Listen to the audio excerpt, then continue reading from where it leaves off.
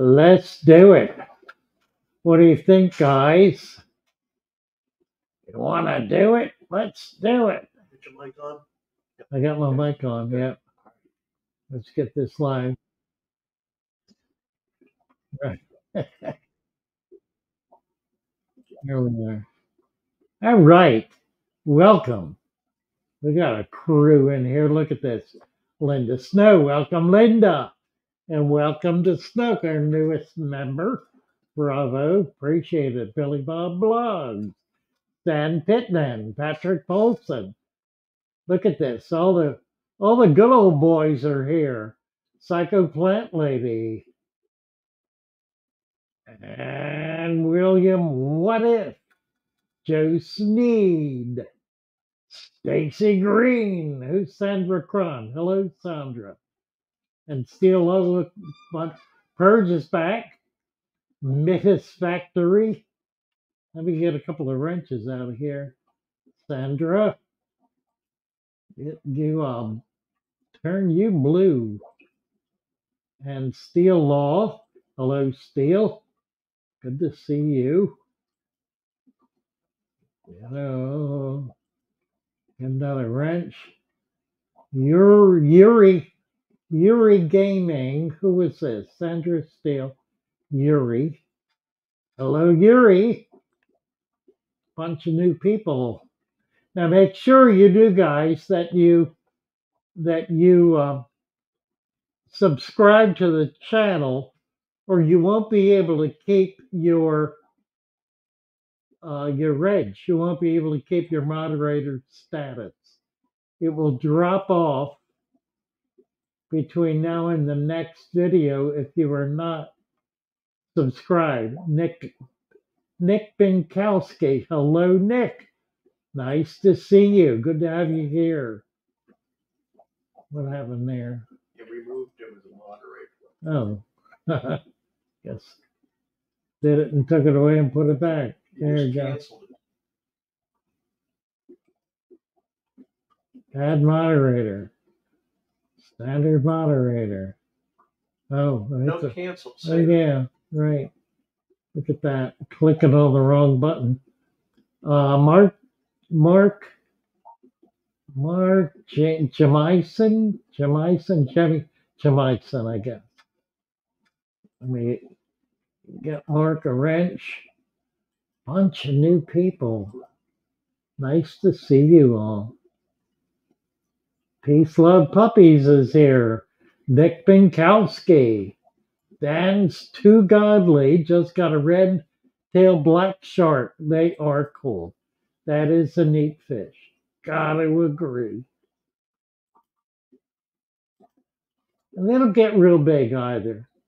Bobby Cas- uh, Casey, Ca- Cassie, Casey. Staring at your tank. Nice to see you, Bobby.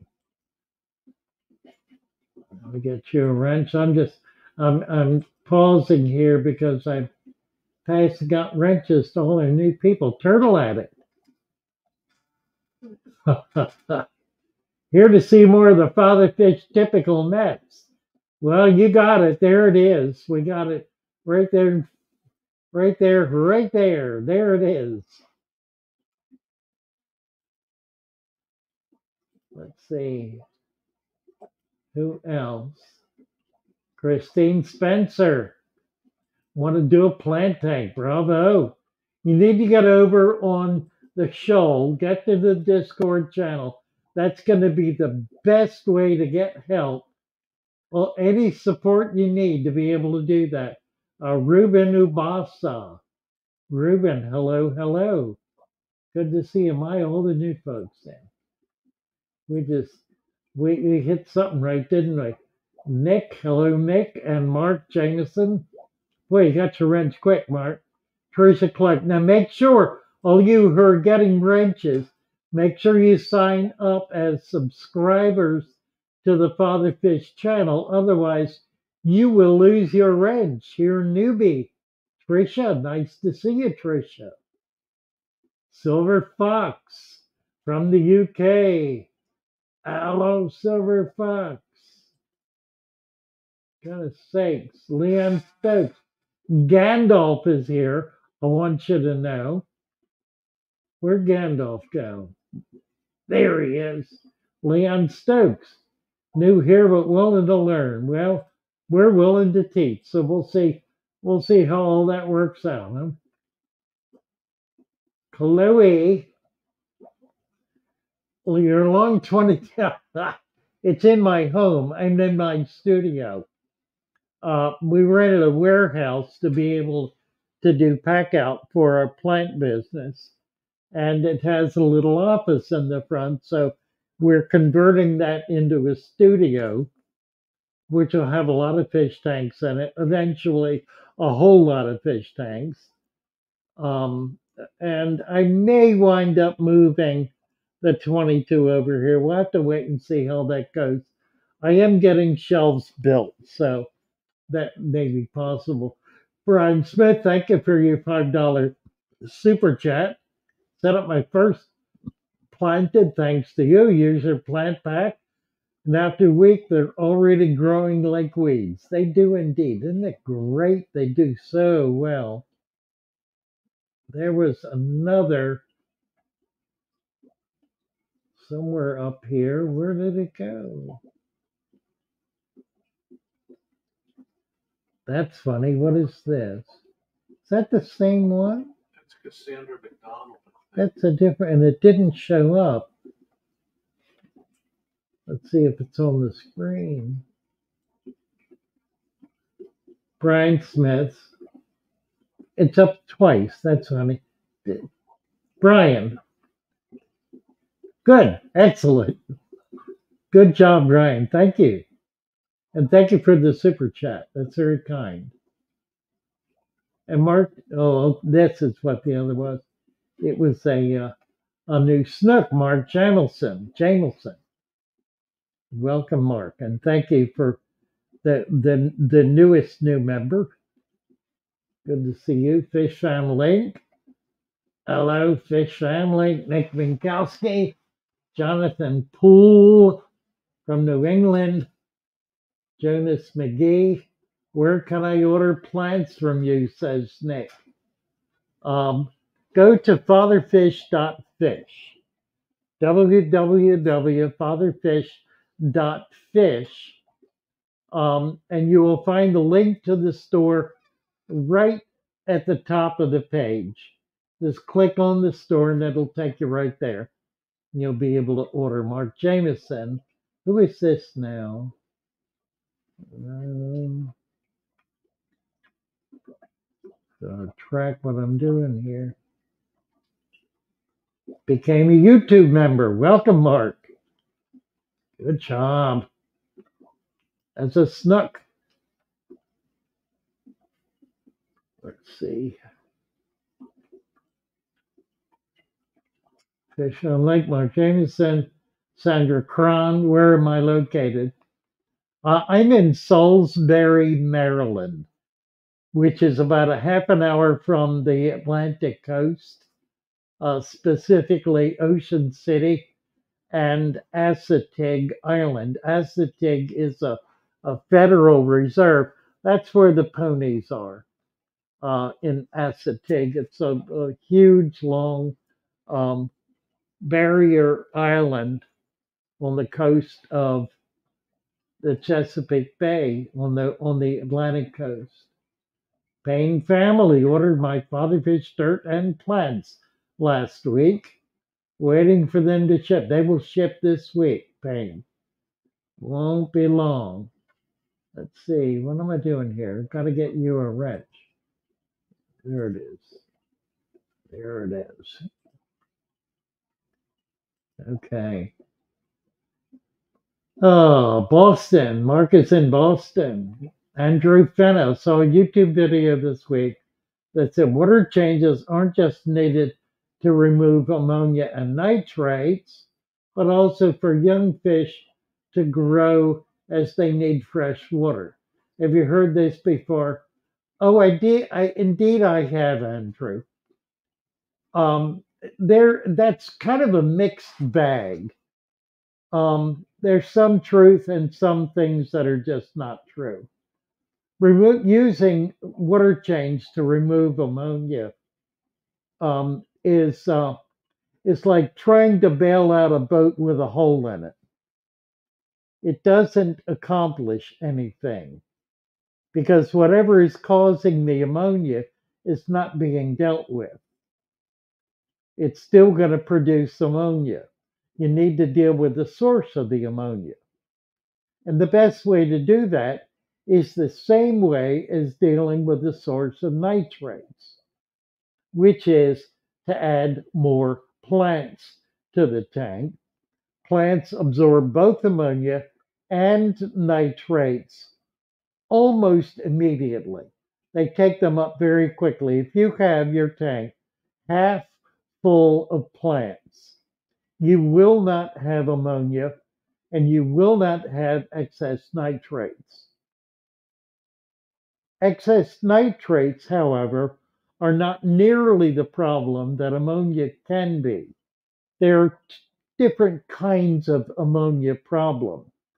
Generally, in an older tank or a more established tank, a tank with plants, ammonia is never a problem. And it's never anything that is even a consideration. Okay, so that's ammonia nitrates. The other part is the young fish.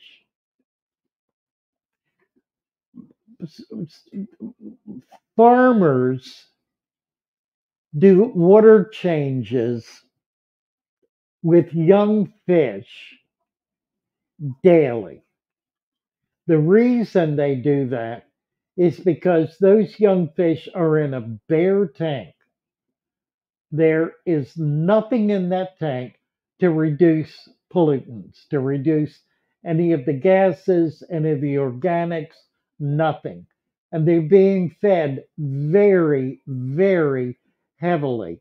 So there's considerable waste and considerable excess food, which means that that water is on the verge of fouling on a daily basis.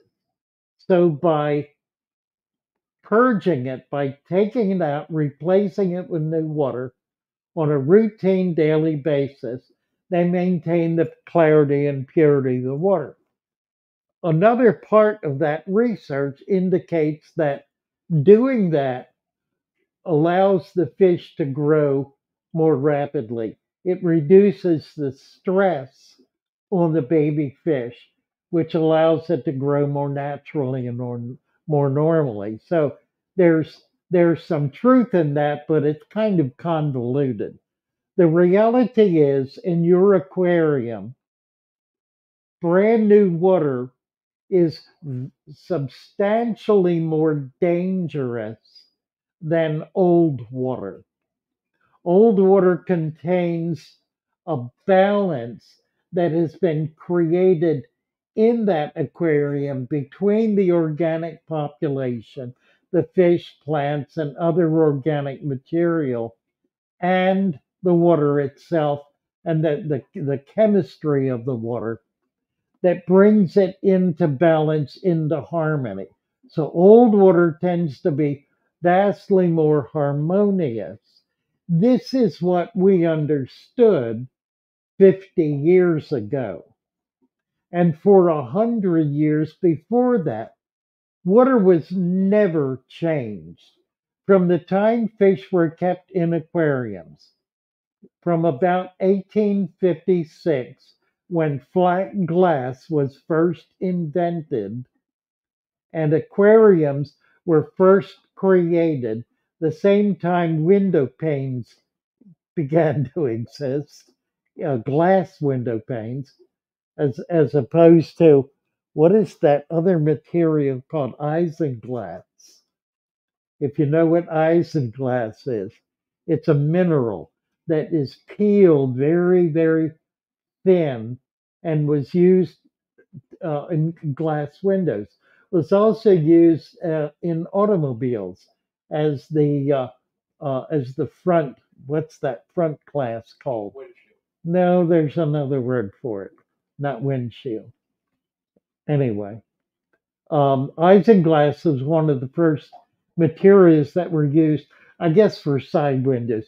You really can't see through it. It lets light in, but it distorts too much to be able to see through. So it was not used as that uh, screen. Well, I don't remember. Anyway, um, flat glass in in the early tanks. The earliest tanks had water put in them. That water was never changed. They also put dirt in them. In the earliest tanks, there was dirt in the bottom. They had plants growing in them. The very first tanks that were developed were developed as natural tanks. That was before electricity. There was no filtration, there were no heaters, there was no light. So they had to create as natural uh, an environment as possible in order to keep things alive. It wasn't until marketing strategy began to develop in the 60s, claiming that maintaining a clean tank was a requisite of, of having a healthy tank. That was the point where brand new water every day, chemicals in the water to kill everything. That was where that started in roughly the 60s, toward the mid 60s, actually. Uh, and then it it uh, it just it it it it became worse and worse to the point that we are now fighting that tooth and claw, and I I should say winning the battle against it because it is creating tanks that kill fish routinely. It is why 90% of the people who get into the hobby drop out because that technology doesn't allow fish to live and thrive in it in, in a natural, healthy way. It, it keeps them in in a, a, a very synthetic environment that does not have the ability to provide the natural kinds of organics that fish need to be able to survive. And part of that, a significant part of that, is aged water. Old water is able to maintain more more biological material, more uh, more biomass, able to sustain in a healthy way more biomass than brand new water.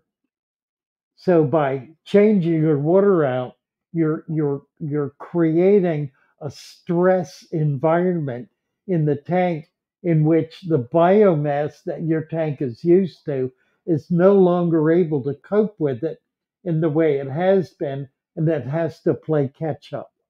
And that can take a while and that causes stress on the fish. More fish die during water changes than at any other single time in the history of an aquarium.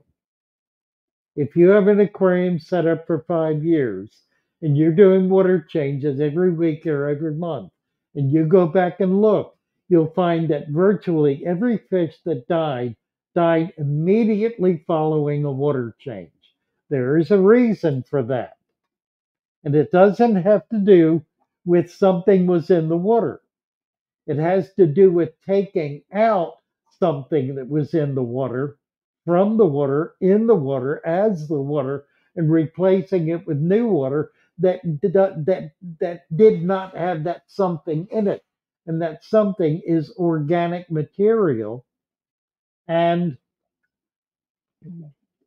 I don't know how to say this exactly.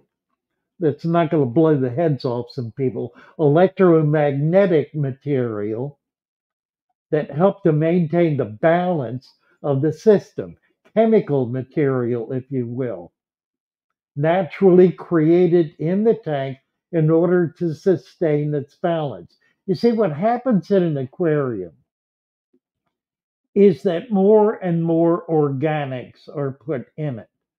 That causes the the the uh, the structure of the tank, the structure of the aquarium through its plants, its water, its soil, every aspect of it to increase its biological uh, capability, its load, if you will. By increase, it increases its ability to sustain an increased load to the point where it will continue to increase literally year after year. Natural Aquatics, Natural Aqu- Aquarium, a brand new channel, just came up online. It is, he has a tank that's 33 years old. 33 years. It's 10 years older than my tank. It is a dirted tank. He set that tank up 33 years ago as a dirted tank, sand capped dirted tank. It is maintaining a volume of life that I've never seen before. It, it is absolutely astounding. The, the sheer volume of biological material living in that tank, it is a hundred times more than probably most of us have alive in our tanks. The tank has developed the ability to sustain that volume of life. And it did not happen by changing the water, quite the reverse. It happened by not changing the water and allowing the environment to develop and to nurture and to become the rich, strong, powerful environment that it is. That is a com- that that that what I just said is in absolute opposition to everything that is being taught in the industry today in the hobby. That's the nature of what we're about here. We are coming out against the entire aquatic industry's approach, a killer approach to maintaining aquariums. It is rare to the point of non existent that there is a single manufacturer or producer of aquarium products that has any interest at all in maintaining and sustaining a natural aquarium. For the very simple reason that sick fish sell products. And the industry is about selling products, not keeping fish alive. The sicker the fish, the more money the industry makes selling chemicals and additives and medications and all of that in order to keep those sick fish going, which they don't do, of course. They die. Which again is the reason 90% of the people who to get into this hobby with the idea of having an aquarium with some fish in it. They bring that home, they set it up, the fish, they do everything they're told to do, and the fish die. They go back, they get more fish, more stuff, more chemicals, dump it in there, the fish die. They may do it a third time, and the fish die. At that point, they have a choice. 90% of them will make the choice to, to empty the tank and put it out on the curb. Who is this? Andre. Wonderful. Hold on. Don't go away. Andre. You're in. Okay, go ahead. Do you have the link? I sent it by email. Yeah, just, so I all that. I was just setting up the background and trying to work the camera. Okay, as soon as you're ready, just jump on in and I'll bring you up. I'm, I'm already. I'm already your stuff. Okay. you're not in. Okay, so No. yeah. How do I do that? click on the link, and it took you to it. To, you've got to there. When you click on the link, what happened? Yeah, let me see what's going on there. Because I got to log in and all that. Ah, right. Yeah. Once you get there, then you have to go through a couple of steps. So now it says enter the studio. Good. Do that. There you are. Hey, how's it going? There we are. There he is, Sorry. man of the hour. Let No, not really. Say that again. I'm going to introduce you. We are live. Oh, we're live. We got how many Okay. people we got, John? Uh, 131. We got 130 people in right now. Oh, really? Uh, yeah, get in the middle of the screen. You're o- you're you're off to the side. There we are. Great. This is Andre Ryan. Here we go. Andreas. Got it. Right there Roll the chair the other way. Andre owns Bioaquatics in uh, in in uh, Sarasota, Florida. He's an old friend. We've known each other for years and years and years. Yeah, keep counting. 20, 20 something years, know. maybe? 20, 20, 27, yeah, probably. Yeah, since John Fisher's farm. Oh, yeah. I think I met you there, I think. yeah. Yeah. That was a long time ago. That was a long time ago. Right.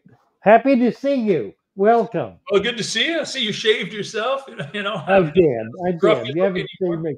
Sans beard. Huh? Andre is one of the top fish breeders uh, I in the country. that, but Well, I think you are. I just He's like done things nobody else has done. He will he will re, he will select a fish, research that fish in detail, and learn how to not just maintain it, but how to get it to spawn. And he's done it. He's been doing it for years. Just really remarkable.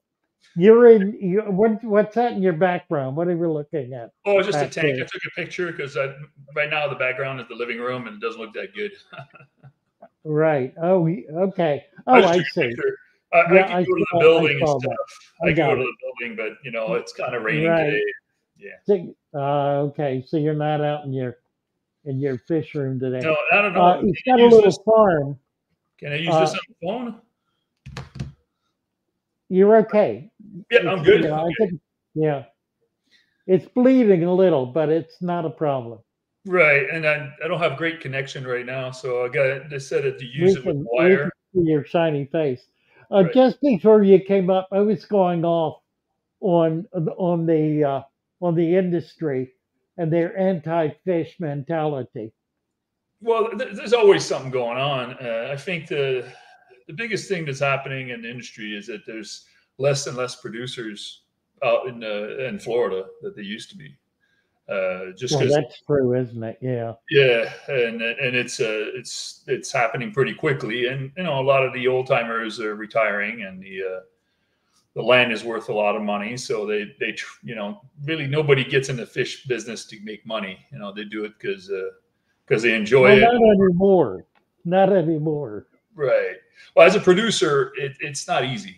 You know, I mean, it's a different story if you're a streamer or if you like you do YouTube videos or you do things oh you show off your tank or you're an importer or a broker. Yeah, that you know, okay, the web would work pretty well, but as a as a producer, uh, you know, you, you you you can't sell what you produce as much on the web because there's no way unless you have millions of clients. You you you you need the wholesalers and the distributors and the stores to sell your stuff. You know, so and so, so you know the, the web doesn't make a lot of money for us breeders you know it, it makes a little percentage of it but most of our income comes from selling to the bigger you know distributors and stores or whatever that are regulars you know regular customers. And uh, so what happened a lot of these farmers when they uh, they want to sell out or something like that nobody really gets into it because it's a lot of work and it's uh, physical work.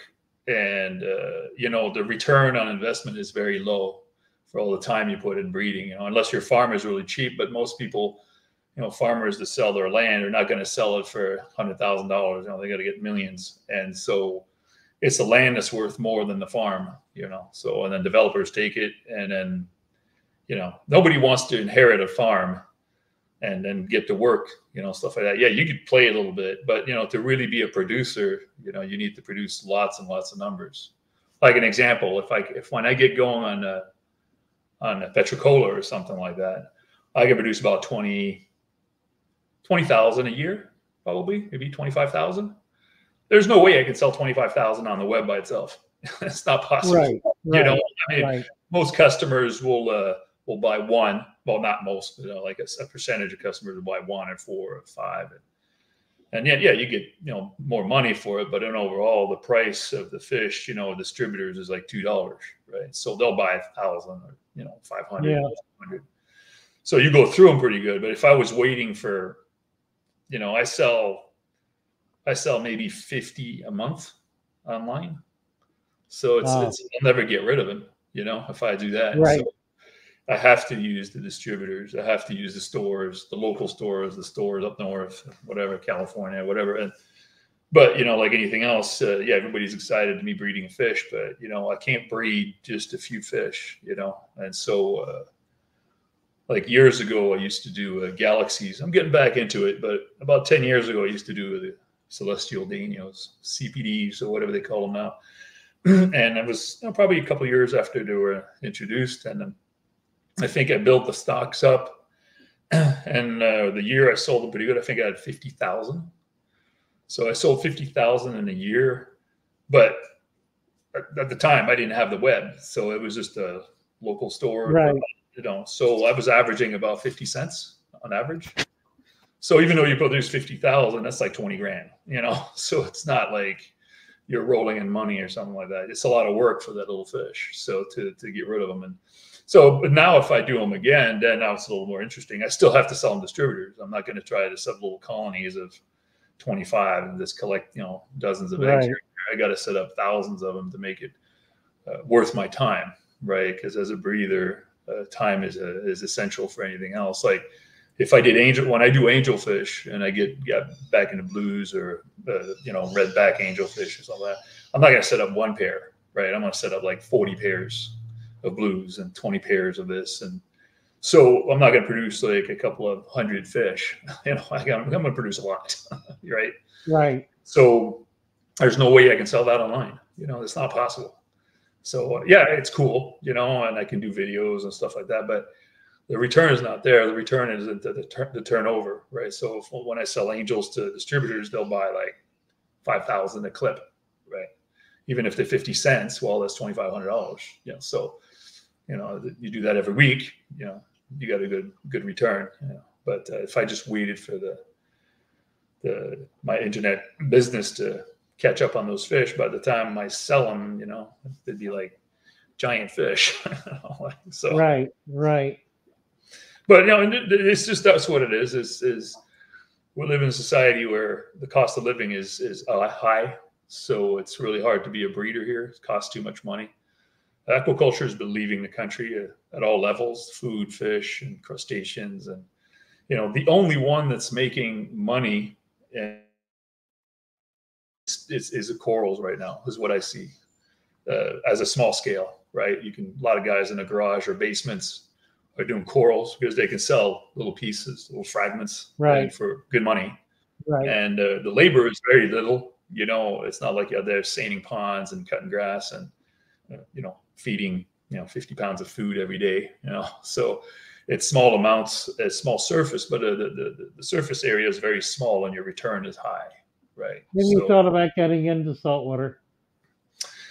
Uh, yes, I first got into this business because I wanted to get in saltwater, but the problem is, is in Florida is that you can't make a farm and make your own saltwater when you want to raise fish, right? You can't make it's too expensive. so you need a source for seawater, so you got to pump it in. And so, but in Florida, the problem with that is that you need to you need to be able to get a pipe out there or collect seawater uh, seawater, and it's it's very difficult, right? And That's ten miles not- out. Yeah. I'm not going to go out there with a, a thousand gallon truck and pump seawater in and back and forth. You need to be really on the coastline, but the coastline is too expensive. You know, it's a million dollar homes. You know, I can't put a hatchery out there. I can't afford it. Right. most of the farm to do uh, saltwater fish a little bit in the Keys, but that's moving out. And it's going to be the Caribbeans, things like that, where they can, the, the laws are very minimal. You can just throw a pipe out there, pump the water in and out, and Yeah. whatever. Yeah. I went to Belize some years ago and consulted on a coral farm, and they were able to do it. But then the, the government took it over. They decided they wanted Right, it well, for, their, Yeah, for their state fisheries. right. I mean, So It- it's really hard for me to problem. you know, any fish, you know, like it's really hard for me to breed a lot of fish and and get into the numbers. And what happened is that I'm competing with the Far East, right? So if I breed something that's really popular, I'm competing Far East. So here I am trying to raise a fish in high numbers, but by the time it's still cheaper than what I can produce it. And they even, you know, like by the time the fish out comes out of Singapore or whatever, or to- uh, Hong Kong or you know, Thailand or whatever, when it comes through, even with the shipping, you know, it's still so cheap, right? And so I'm here like producing a nice fish, and uh, I can't compete with that price. So now I'm down to producing a fish that's not in the in the big chain store, but it's more like you know like semi common, not like rare. And then uh, then I can't I you know I sell okay, but it's it's just a you know it's it's more temperamental in sales. It's sometimes uh if it's popular, it sells a lot. If it's you know goes through a downsize, then it's like eh, you know. I went through that with the Africans, especially the Malawis, when I used to work on farms and breed my own Malawis and Yeah. peacocks and haps and all that kind of stuff. And then uh, suddenly, in the span of five years, that fish was every. Those fish were everywhere. Right, every farmer Right. had them, every importer had them, every because they were so easy to raise. You just put these African in a nice pond, and they mass produce. Right, you know Yeah, that's and right. they sell big ones and all that. And then years ago, the uh, the feds, the U.S. Fed, Fed federal cut the uh, methyl testosterone in the food, so we couldn't uh, we couldn't get the turn these cichlids into males or coloring up like males, you know. So which is what's happening in the in Asia now as they Huh. they put it that on the fit, and that's how you get these assorted peacocks or these giant sword tails that are all Uh, male yeah. that we can't do that here. So, because we could produce really nice sword tails, but then you know most of them are females, so half of them are females. So, you know, a lot of time they end up on the ground because we can't get rid of them. You know, you get rid of some of them, but what do you do on forty thousand? Right. Right. Like, Yeah. so it, it's it's a commercial. I mean, it's a disposable item. You know, that's how you have to look at it. You know, perishable and disposable. So farmers are always trying to find ways to to get an edge, but it's very difficult here. The cost of living, cost of labors. You know, I mean, you can go literally in Asia and they, you can, you know, have 20 people clean up a pond in a matter of hours, sorted, cleaned, and everything else. Uh, we can't do that here. You know, the, our, our cost is too high, so it takes us a little longer to clean a pond because we're only a few workers and stuff like that. You know. Right. Yeah, and the and the, the cost of labor. But right, well, labor, taxes, food, gas, whatever. You know, everything. Yeah, right. Yeah. Right. it's everything. It's not just when one. you're in you're in a, a unique position where you are. Uh, when you when you started your farm, it was a little kind of a corner of of an a, a, an ex-urban area, and now is worth probably a hundred times more than when you bought it.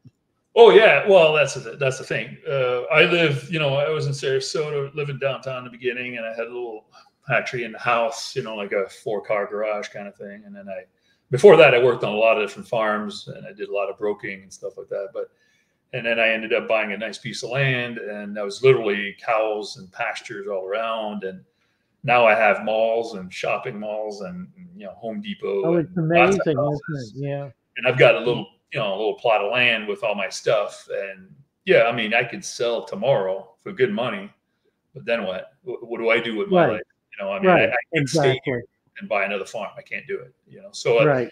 you know, and it, the cost is still high. You know, I still got higher bills than most farmers, but at least you know I'm a little established. So right now I'm improving the facility and trying to find different things to do. I, I like to play. You know, a lot of guys don't like it. You know, there's a lot of purists out there, but I like to, to, to mess around with the fish, and I do a lot of hybrids with, let's say, Synodontis or something like that, and I come up with all kinds of stuff that's really nice. And I, I start selling that stuff pretty good. You know, yeah, I can do the regular stuff, but I like to come up with fish. I like to do genetic work a little bit, not necessarily like uh, gene splicing like they're doing with the GloFish or things like that. You know, like taking a, a coral gene, a coral gene, or a, a, a jellyfish gene and put it into a fish, because that's what GloFish is, right? So Right. and so uh, that's a little bit extreme but you know it, Yeah. it's one of those sellers that you know like you, you can't compete with you know like they, they come up with all these different colors and different fish Exactly. Right. so you know and i can't i don't have the facility to do that stuff. So i do the regular hybridizing stuff you know and you know you guys are familiar with like uh, flower horns and things like that. Those are hybrids. I mean who knows what's in the fish after five years you know? I mean so and the people they're real popular. In the beginning they weren't. And then suddenly now everybody wants them and you know they can't produce enough of them and everybody wants the big knuckle hump on them and all that stuff. So uh, i do the catfish and i'm you know i'm just playing around and you know stuff like that but i do other stuff too you know so Now, what about some of the newer fish that are coming in, like the, like the, uh, um, the the gouramis, the licorice gouramis, or that that whole family of of of fish, that, the Yeah, I mean, stuff. Yeah, that's that's a very specialized stuff. I mean, as soon as you get this, the warm water, the acidic water, really acidic, uh, that four four o or four or five or whatever. It's it's not like conducive to market for us as a breeder because it's really difficult to uh, to find a market. You know, yeah, we we can produce a little bit of it, but the, market is definitely settled on you know like a really hardy, you know, seven five hard Wow. You know, Okay. it's a bit like uh, the shrimp, for example. Shrimp is a good example. Is uh, you know, the, let's say we talk about the, the neocaridinas and the caridinas. You know, those those two groups there. So you know, everybody like, oh, you need to do the, the caridinas, and I'm like, well, yeah, it's great, but there's soft water, cold water, and a little bit acidic. And every time I can do them, that's not the problem, and I can do well with them. But it's when I sell them is a problem. And, Right. and if the system, you know, the wholesaler or the store or even the customer doesn't have the right water, then they don't do well. And next thing you know, they get frustrated and you know, or it dies. And then you're you're trying to explain to them what they need to do. They don't have the, the knowledge or they don't have, you know, the expertise to figure out how to get their water acidic for the acidic and cool and whatever. So it, it, it becomes let's like, talk about that a little bit because that came up earlier today. I, I looked back and I realized I have not had a tank with a pH below seven in probably 50 years. there you go. you answered your own Right. question. and and that's I think that's everybody's experience. Right. There are a range of fish, and you just mentioned one, the and I mentioned the other that I really would like to be able to keep. But to do that, I've gotta I've got to be able to take the hard water that's available to me, soften it, and maintain it at, at that lower pH. How do I do that? Uh, well, actually, that's that's that's the hard way to do it. You know, like so. There's a rule that I follow is that if you start doing chemistry to your water, right, and like acidic, uh, putting acidity in your water or putting you know like uh, chemicals in there to change the water chemistry, you're you're you're you're not doing it the right way, right? Right. So, in order to really, you know, acidify the water, you need to find how does it get there. You know, what makes it acidic. You know, and uh, you know, like so, if we have a basic rule, is for example, uh, you, you, let's say we're up north and we live in an area where it's really rocky, and uh, you know, like part limestone, limestone or whatever, so rocks all over the place. So when the rain comes in, so let's assume that the rain is let's not worry about acidic rain, but let's say the pH is like six, you know, or five, five, six. Super soft, right? It's uh, soft water. It has a acidity value in this in the sense that it's uh, it's corrosive, right? Acidic uh, soft water is corrosive, so that's how we have to look at it. So it'll dissolve pretty much anything. It could, it could be organic material or uh, rocks or whatever. Whatever it co- comes in contact to will uh, the, the water itself will change chemistry, right? Because it's acidic, you know. So that's why we don't have, you know, we don't have uh, soft water in our pipes, right? So that would be really, really bad because if you have copper pipe and you put acidic water in there, well, you'll be you'll be drinking copper. Maybe not a lot, but a little bit. But if you're living in that house and it's got copper pipe and you've been there for 20 years, well, yeah, you're not going to do too well. So, you know, we have to have hard water going through the pipes because it's stable, right? It's not corrosive in any way. But in nature, water coming out of the sky is corrosive. We don't see it that corrosive. It just goes down and it's water. But over time, it'll corrode whatever, right? It, it'll dissolve organic material. It'll dissolve rock. So when you have rainwater that comes through, you know, the rocks and all that, uh, then it becomes hard, right? And it'll take the, the, the pH of whatever mineral buffers it up. So in the rainforest, for example, they don't have any hard material. You know, maybe in the mountains in Peru and things like that, volcanic, then the water's harder. But when you go to the Amazonian basin and it's just organic material, when the water hits there, it just dissolves whatever's there, but it's all organic and it's just really acidic, right? It just goes straight down to three five or something, three eight in certain areas, right? So that's what makes the acidity. And a lot of animals can't make it in there. A lot of fish do make it, uh, but a lot of plants won't make it, right? You understand that the plants need, you know, certain minerals to assimilate, and if the water's too acidic, they can't assimilate that, so they don't live well. You'll have water on the, the plants on the surface, and you'll have plants, you know, in the forest. But if the water is really acidic, you know, plants don't thrive, right? Aquatic plants. So because it's corrosive, it's just the, the, soft water is just too hard for them. It's a the water takes away from the plant more than the plant can take from the water. That's how you have to look at it. So, you know, like to acidify water. So if you, you basically, first of all, you got to soften it up. And then you got to decide what kind of pH you want to get. And then you, you work with that. So one of the example I tell all the time is, let's say you have an African tank and your pH is, you know, you don't have much limestone in there, but just regular gravel and stuff like that. And you got tap water in there. And what happens over time, if you don't do water change for a while, I'm sure people have seen that but they, what they don't realize is the pH is going down, right? Over time, the pH will go down because you got first of all you got the, the, animals in there and releasing you know waste and all that, but the, the main culprit from that is bacteria. So what happened is the bacteria that lives in your biological filtry, filtration is um, it requires things nutrition to convert your your your, your nitrates and you know your, your, your ammonia and nitrates nitrites all that kind of stuff it needs it needs certain ingredients, and the main ingredients that it uses to uh, convert these uh, to, to, feed itself on you know your fish waste is uh, is carbonates. You know, not calcium carbonate, but carbonates, right? So whatever you buffer your water with, right? Whatever the water comes out. So all water that comes out of the tap has carbonates. You know, that's what makes it, buffers it up to seven five or eight or whatever. So over time, and people see that they go, "Oh, my fish look better every time I do a water change. They spruce up." It's because the carbonates were gone, and so the fish really like that, and the pH was going down a little bit. But if you take a tank and you, the fish will start dying. You know, even though the water looks good, but it's because it becomes acidic, and so it's the it's the bacteria that that takes all the carbonates out and makes it acidic. It takes time. If especially if the water's hard, it'll take some time. But if the water's soft then it doesn't take long for the pH to go down and uh, with uh, with uh, you know livestock in the tank. So, and the main thing that the bacteria eats to uh, convert the ammonia, the nitrates, nitrites, all that stuff, is uh, is carbonates.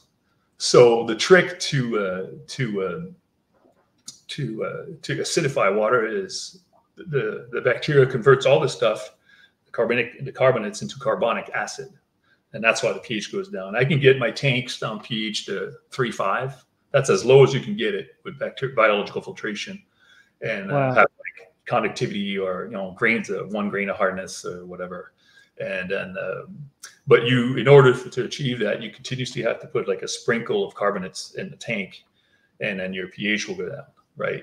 And uh, your bacteria will feed and slowly get the pH down, right? But it, but if you go past the 3.5, then ammonia kicks in because there's not enough food, so ammonia goes back up, and then then you have a whole slew of issues to deal with, right? So you can't just start putting carbonates in there. Your pH is going to spike, ammonia is going to become toxic, and your fish are not going to be happy. Anyway, so that's the gist of it. You know, I mean, I could be more in detail one day to explain you how to do it, but that's that's the base the base of it. Well, I really want to be able to keep these uh, um, these gouramis, the the licorice species of gouramis, the samurais. I've Right. had them a number of times. I've had them. They are being bred in captivity now. So yeah, but they're, they're big producers, right? I mean, I've bred, I've bred them quite a bit, but they're not producers. I mean, even though they're temperamental, they're small. The males is the one holding the, the brood and all that. So right, it's it's it's a cool fish. I mean, it's a hobby fish, right? It's it's great for hobbyists, Right, right? It's a challenge. It's a really big challenge, right? They're small fish. They, they they breed good if you feed them more mostly live food. They don't do well with dry food if you want to breed them.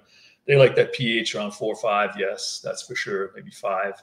And then uh, you know dark tanks because they're very shy. You know we all know that these fish are so shy. They don't like uh, they don't like the movements around them. So uh, that's another thing that you know, as a breeder, you know, fish tanks are not made to be a, breeder- because fish don't like to be looked at. You know, when they're breeding, right. they don't like that. You know, we we tend to want that because we want the television look of like, oh, we want to see the fish, but technically, a breeder doesn't like to have you know the tanks with lots of windows. Right, right. Any questions? yeah, yeah, I'm just looking. Uh, I'm I'm following the following the chat here. Uh, they're all into their own little thing. Typically, Just pick one. pick uh, yeah. Let's see. What a three. if Right. there is a question, maybe maybe I'm well, boring. cories. How about cories? Talk about cories a little bit. Well, in terms of what, like that's a course a big big well, word. like, uh, um, well, we're talking about we're talking about softer water. What about the the the the the pH requirements of cories? That's kind of wide ranging, isn't it? Yeah, it is, but you know, there's a misconception on a lot of people thinking that fish only breed in the water they're born with, which is not really true. The big issue in breeding fish is what does the egg require to to be viable, right? Ah, So you could breed discus and hard water, right? And Right. but the hatching is a different story, right? So they will breed in hard water, hot, but the eggs aren't going to hatch, and people are out there putting, you know, methylene blue and you know all kinds of little concoctions to prevent fungus, you know, or the, the, like. But the the big issue with eggs, and that happens to cories and all that kind of stuff, you know, angels, cory, discus, uh, any kind of soft water fish, sort of soft water, even some of the barbs and all that. So the, the the the thing is that the thing that people have to understand is that when you have, let's say, just the angelfish, that's an easy one. Angelfish, they breed all the time, right? And people always wonder how come all the eggs turn white and all that stuff. And I'm going to put medication on them and stuff like that. And the first question I ask them is, "What kind of water you have?" And most of them are going to say, "Well, hard water comes out of the tap." And okay, what's the pH? Okay, eight. Okay, uh, what's your hardness? Okay, it's it's up there, you know, 15 degrees or whatever it is. And then next thing you know, it says, well, that's your problem. It's not it's not the eggs, it's not the fungus, it's not that. It's the fact that a membrane, the membrane of the eggs, all eggs pretty much, is negatively charged, right? So it's negative because it wants to assimilate food and minerals and all that. It's it's a breathing membrane, right? There's an exchange between the two. It's not just a seal, like a like a you know, and it's it's a it's an open membrane, so elements go back and forth. But in order for it to be active, it needs to be negative. So element go towards it, right? So it could be minerals, could be oxygen, could be whatever. So what happened is that if you have hard water, and these fish are, are bred, or like they, they live in soft water, then there's no calcium in that water. There's other things, but there's no calcium. There's no magnesium. So the first thing that happen is the eggs the eggs get clogged. So the calciums just start binding to the membrane. That's what makes it turn white. That's what makes it go hazy. And basically, the egg is still alive, but it dies because basically you just sealed it and it's over, right? The the, the embryo is not going to make it without oxygen and or you know whatever else it needs. So the thing to do is to soften the water, right? So, but you cannot soften it in the middle of the process. So let's say your Right. angelfish, let's say your angelfish just laid the eggs, and you say, well, I'm just going to wait till tomorrow. Well, that's too late. So it's mostly like they lay the eggs, you pull the eggs out, and then you put them in soft water, and then you're okay. But if you wait a couple hours, that's pretty much over. You know, some of them are going to hatch, but the majority are probably not going to hatch because the calcium's already binded, right? Or calcium and magnesium or whatever other minerals you got in there that are positively charged in the water are going to go. So Mhm. that's usually that's how it works, right? So you- uh, uh, uh, you can like strip spawn these fish. You know, a lot of a lot of people can spawn strip spawn with hormones, but as soon as the fish can be grown in hard water and get all fat and everything else, but then when you're squeezing in the eggs, you put in the eggs directly in soft water, right? So and then you're good to go, right? So that's that's usually the key. So we, Now, you can, can, can a fish, can any fish be adapted? A a fish living in soft acid water be adapted to living in hard alkaline water? Yes. Yes. Takes time. A good example is cardinal tetra, right? So, you know, like uh, I did a lot of cardinals. you spawn cardinal tetra extensively. Oh yeah, yeah. That's breeding is not. It's not a. It's not a hard fish to do. It's an egg scatterer. You know. You know. What doesn't matter.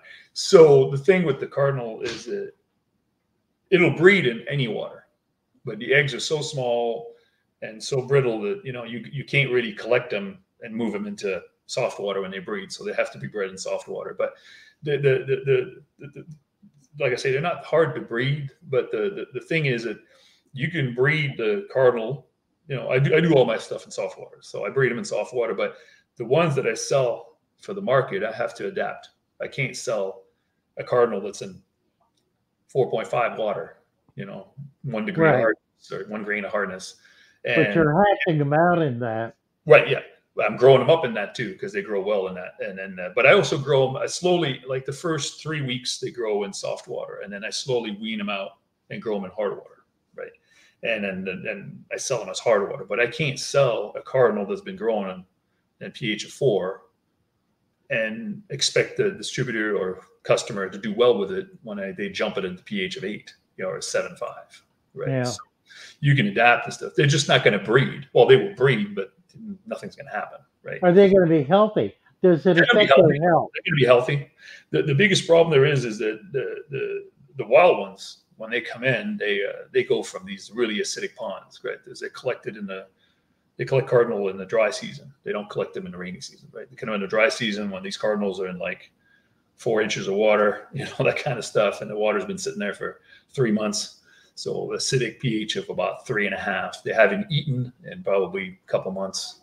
They're just sitting there, little skinny things, and then they bring them up, and then they, they, they you know, millions of them, and then they uh, they put them in hard water because that's all they got, and then they they don't do too well because they're not first they're not they're starving, and then uh, there's an adaptation period. So the way to do it is to bring them in soft water, not just RO water, but RO water acidified, like really soft and acidic, and then you you you know probably take care of them for a couple weeks to a month. You feeding them up, fatten them up, and then slowly wean them up to the hard water in a couple of weeks. It's a big process, and very few people do it because it's too much work and it's not worth it. So they tend to just get the cardinal in, they live, let's sell them, right? So that's Yeah. it. That's Yeah. why that's why the majority don't make it because they just they never had the adapt, adaptation period to do it. You know?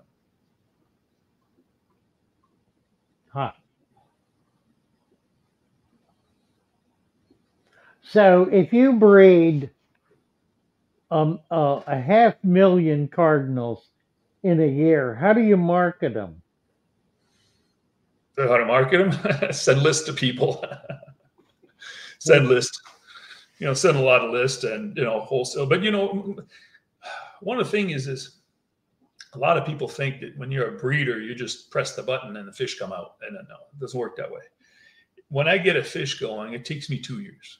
It's a two year process, right? First of all, you don't go, it's not like I can go back my stock at 7 Eleven and say, okay, I need uh, uh, 400, you know, 4,000 breeders of this fish and I'm going to have them producing. And then six months later, I've got them. So, so you're spending a year building breeding stock. Yeah, well, the first year is basically depending on what the fish is. You know, some fish are a little harder. Depending on the, it depends on what the stock's at, and so you have to build stock, right? I can't.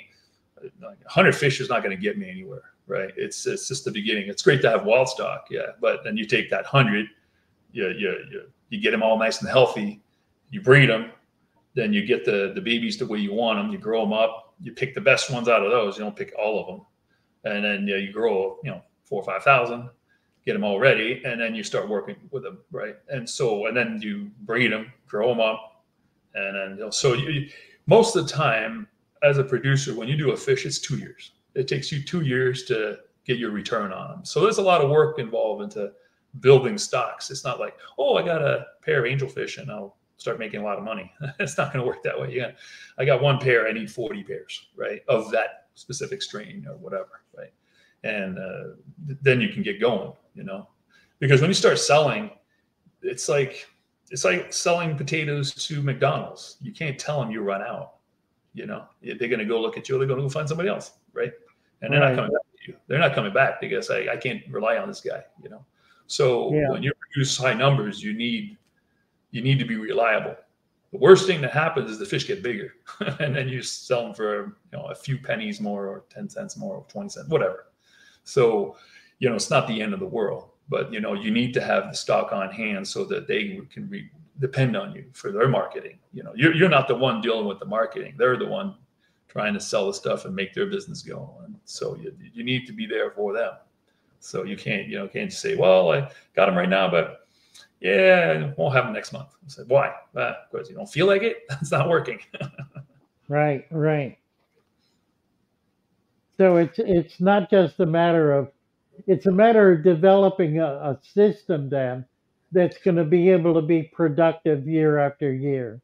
Right. And the, the other thing that people say, well, just buy fish from somebody else. Yeah, you could do that. The, the, the challenge that you have when you buy a fish from somebody else is that you don't know where they come from. And right. you inherit all his problems, right? So whatever food or disease or you know genetic issues he's got or you know whatever resistance the fish has lost uh, you know you're dealing with his stock it's not your stock right? So you can go out there and buy stock from another farmer but you're inheriting inheriting his problems right? So the best way to be a breeder is to get your own stock and build it right? So it could take a while. It could take a while right? I remember doing um, black veil angels for a while you know and a lot of people say oh i got to get some. So i get some veils and I get some blacks and I work them out and I get some wild fish, you know, some more Peruvian angels and cross them over and trying to get a nice body, nice finnage, straight fins, long fins, you know, delta tails, all that stuff.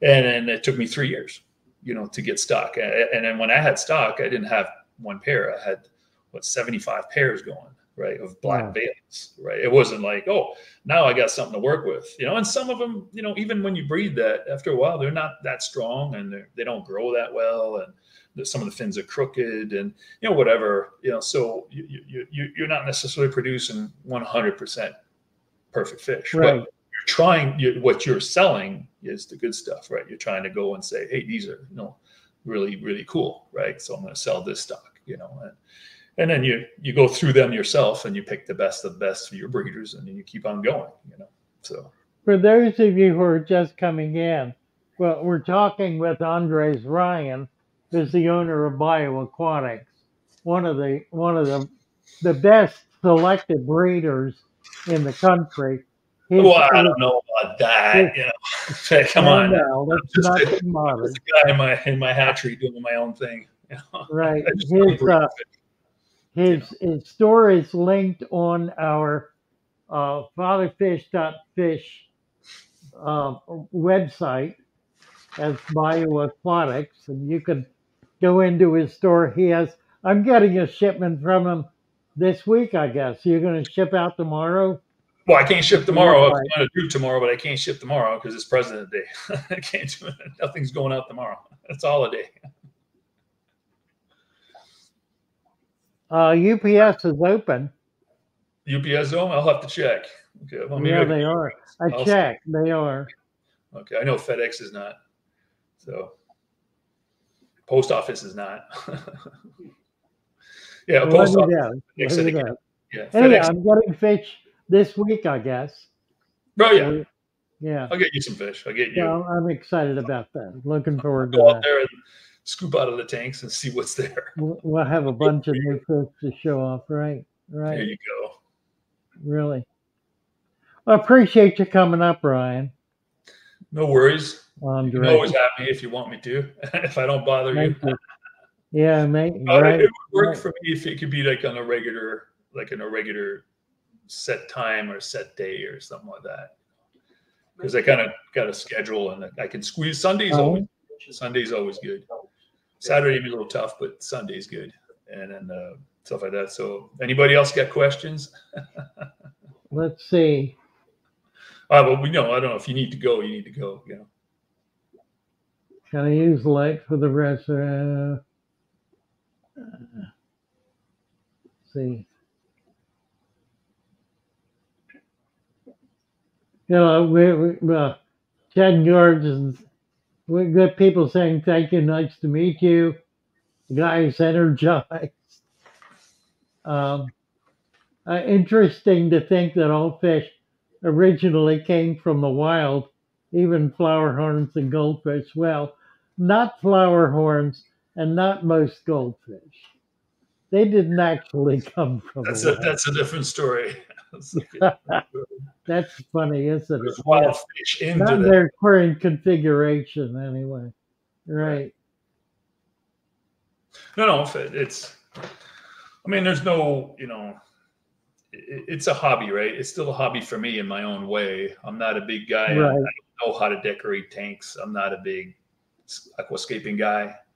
Um, you know, I can I produce plants, but I barely know how to deal with them when it comes to setting them under a fish tank or something like that. And I just the, the challenge. My my favorite part is to get a fish and trying to breed it and trying to see if it could be commercial viable. You know, the Right. key, key word is there commercially, not just If saying. Somebody like, saying, somebody Yeah. asking you if you breed Oscars. The McColgay. Do you know what the McColgay is? Oscar? I don't know what that is. not familiar with that one. You know? Yeah. Uh, you bred Oscars certainly, but Well, yeah, by the kind of a big fish to handle. Yeah, it's a yeah, it's yeah, it's Oscars. They breed in the canals in Florida, and they can breed in the and they breed in tanks. They're not that hard to do. Now, most of these fish, they just like live food. You got to give them the live food to get them kicking over, and then they start breeding. Uh, Tom, Oscars don't breed really well. They don't breed the really well. bioaquatic site is if you go to fatherfish.fish, the bioaquatic site is li- listed there, or bioaquatics.com. Right. That'll get you there. Yeah, I don't have much. I mean, I have a bit of stuff, and you know, I just play around with some stuff, and but it changes it, you know. And then I'm I'm expanding right now. I'm kind of low on angels. I'm trying to get back in breed, but I had to rebuild the hatchery and build more tanks, so I put in another like 32. Uh, Victor wants to know if you make your own fish food. Uh, there's a good topic fish food. And I you make some of it. unique things with fish food. yeah, I make some of it. I buy some of it, but at one point you're gonna, you know, like it's like time, right? Time is money. And so in the past, they used to make a lot more fish food. But over the years, commercially, there's some commercially available food that are really, really good. And there's there's no point making food. Yeah, I can do additions, I can add some oils to it or vitamins or different fibers and stuff, whatever I need to do to the food to make it a little bit more palatable for the fish. Not necessarily be, you know, a lot of the foods out there are very good for the fish. It's just the thing that's more important than anything else is the attractants, right? So you can you can have a really big meal, right? Like you can say you make yourself some really healthy food for yourself. It may not be very palatable or very appealing to you because it doesn't taste right. It doesn't mean it's bad for you. So the biggest thing with fish is their their taste bud and their smell. So Huh. you have to have what they call attractants in the food, and that's the key, right? So I may go out there and find a really good food, but the fish don't really like it. Doesn't mean the food is bad.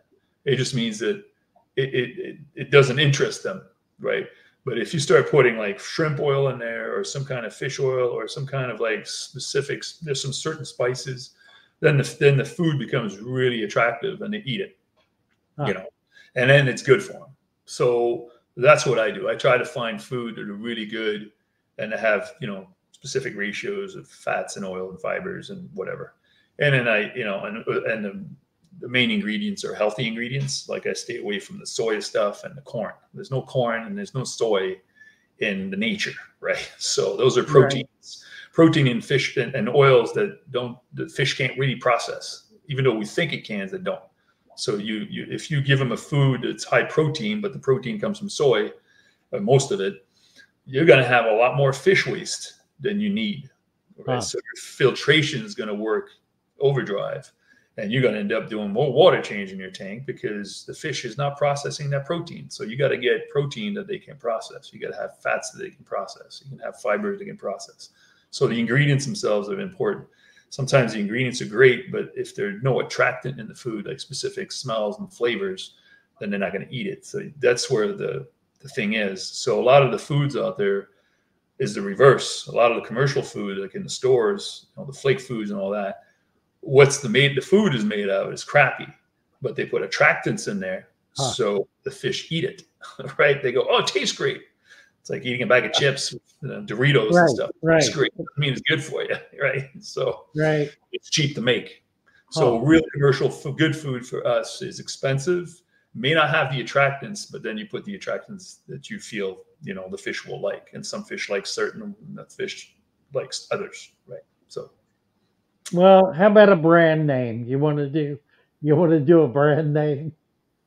well, you know, one of the brands I like the most is uh, Otohime, or it's basically just a Japanese brand. Yeah, that's. I've been selling that in my shop. Right. So I've been using a lot of that, you know, and then I use a lot of Aquamax for myself for the for growth and for maintenance, and then Wow. Otohime for conditioning, and then frozen foods. I don't do a lot of live food unless it's for breeders, but live food I usually make my own.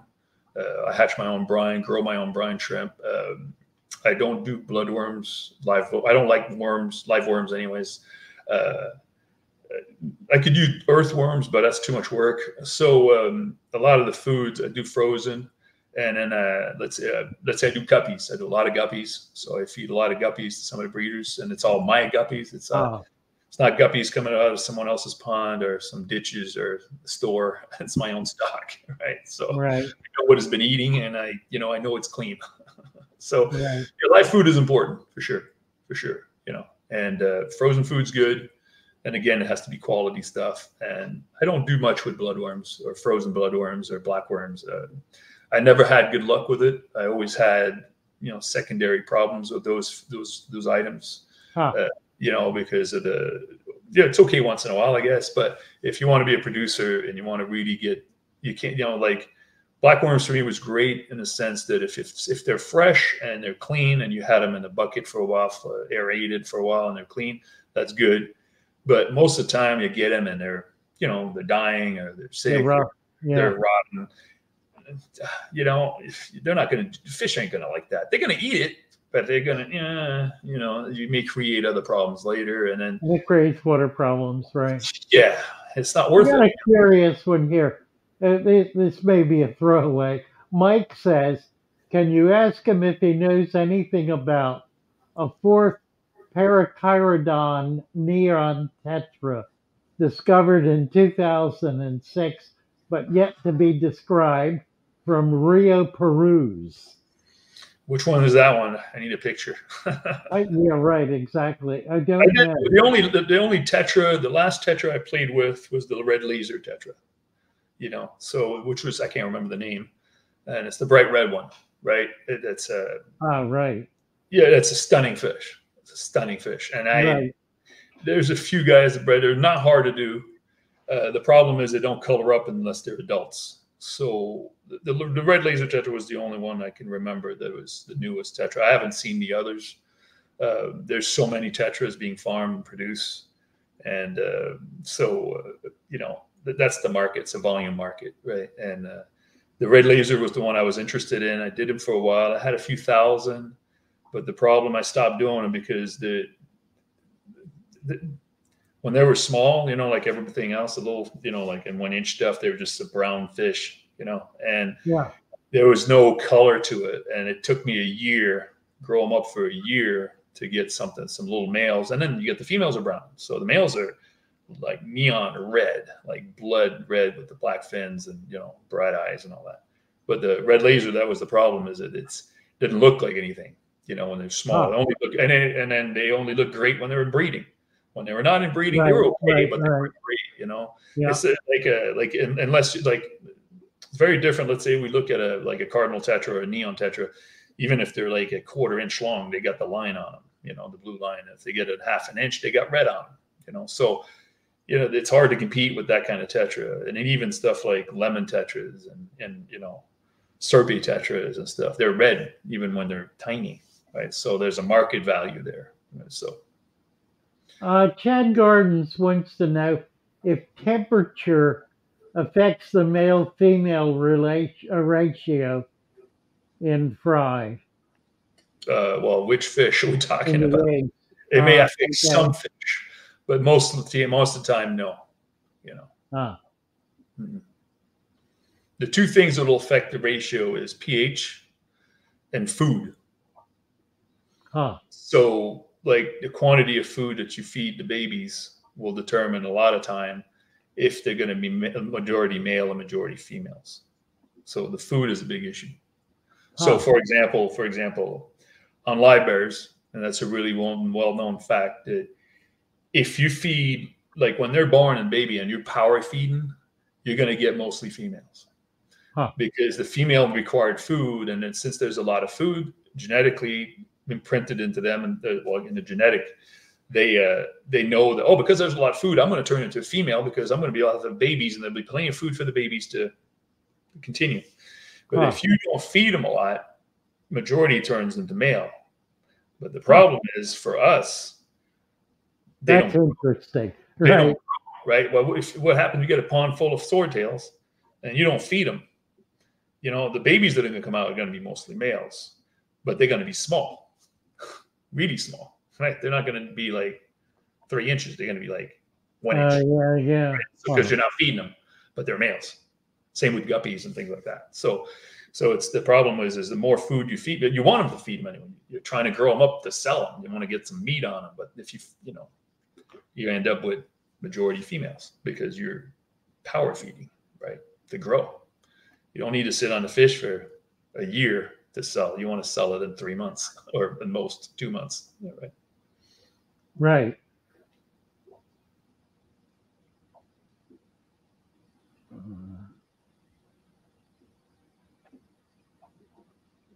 Let's see. Uh, Hemigrammus carillius, the red laser. Yeah, red laser. Yeah. gorgeous fish. It's one of my favorite. But you know, I was like, eh, could do anything with it. Do you have any now? no, that was about three years ago. Uh, I could probably get them again. I got a couple of farmers that have some. You know, oh, They're, they they like to play with them because it's such a bright red fish. You know, right, right. they're good size too. That's a good three inch. Oh, really? It's a bit like yeah, it, it reminds me of like the Congo tetra or something like that. Oh, yeah. It's a good size fish. That's the same problem with the kangaroos, I guess, isn't it? It's a really stunning fish, but but it takes a year to grow them out. Also, the Well, rainbows. They're not hard to breed. I've bred tons of those things, but the problem is, is that nobody wants them at an inch. Everybody wants Right. a three inch, and they they take you about a year to grow. Same and thing with the rainbow. There's not enough. The return is not good enough on them. Right, right. Wonderful fish. Oh yeah, you got the Congo, you got the yellow Congo. There's three of them, if I remember. Three, three different ones. Huh. Have you done much with rainbows? Yep. Another fish that grows too slow, and there's only Right, one. exactly. Yeah, I mean, Right. they don't look like anything at an inch or two inches, and it's uh, the, the biggest producer of rainbows is Valley Fisheries. You know, here in you know not far from Yeah. here, and they Yeah. uh, but they do everything in ponds. So they have like hundreds, maybe thousands of ponds, big you know fifty foot or hundred foot ponds. They grow them up for years, you know, a year, probably a year. I'd say a year. So they breed a fish and it's sitting in the pond for a year, and they have big ones, you know, three, four inch stuff. You know, and right. I can't compete with that. I don't have the Right, face to do right. that. Yeah, I could breed Millennium Rainbows and Boesemanis, and there's a whole bunch of them. But the problem is, is that they're I can sell them at an inch, but everybody wants them at three to four inches, fully colored. I don't have that. You know, I can't grow. a fish for a year. I can't do it. I don't have Mike space. is asking, what's the safest live food to feed in terms of pests, parasites, disease, and other issues? He wants to know a good quality live food. that you want to make yourself or you want to buy.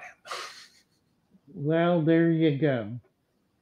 You're talking about frozen. That probably is the safest. Yeah, but that's not live food. The safest live food, I would say, you know, probably Moina. Yeah, baby. Yeah, Moina. Right. The problem with brine shrimp, like if you hatch brine shrimp, is uh, Vibrio bacteria.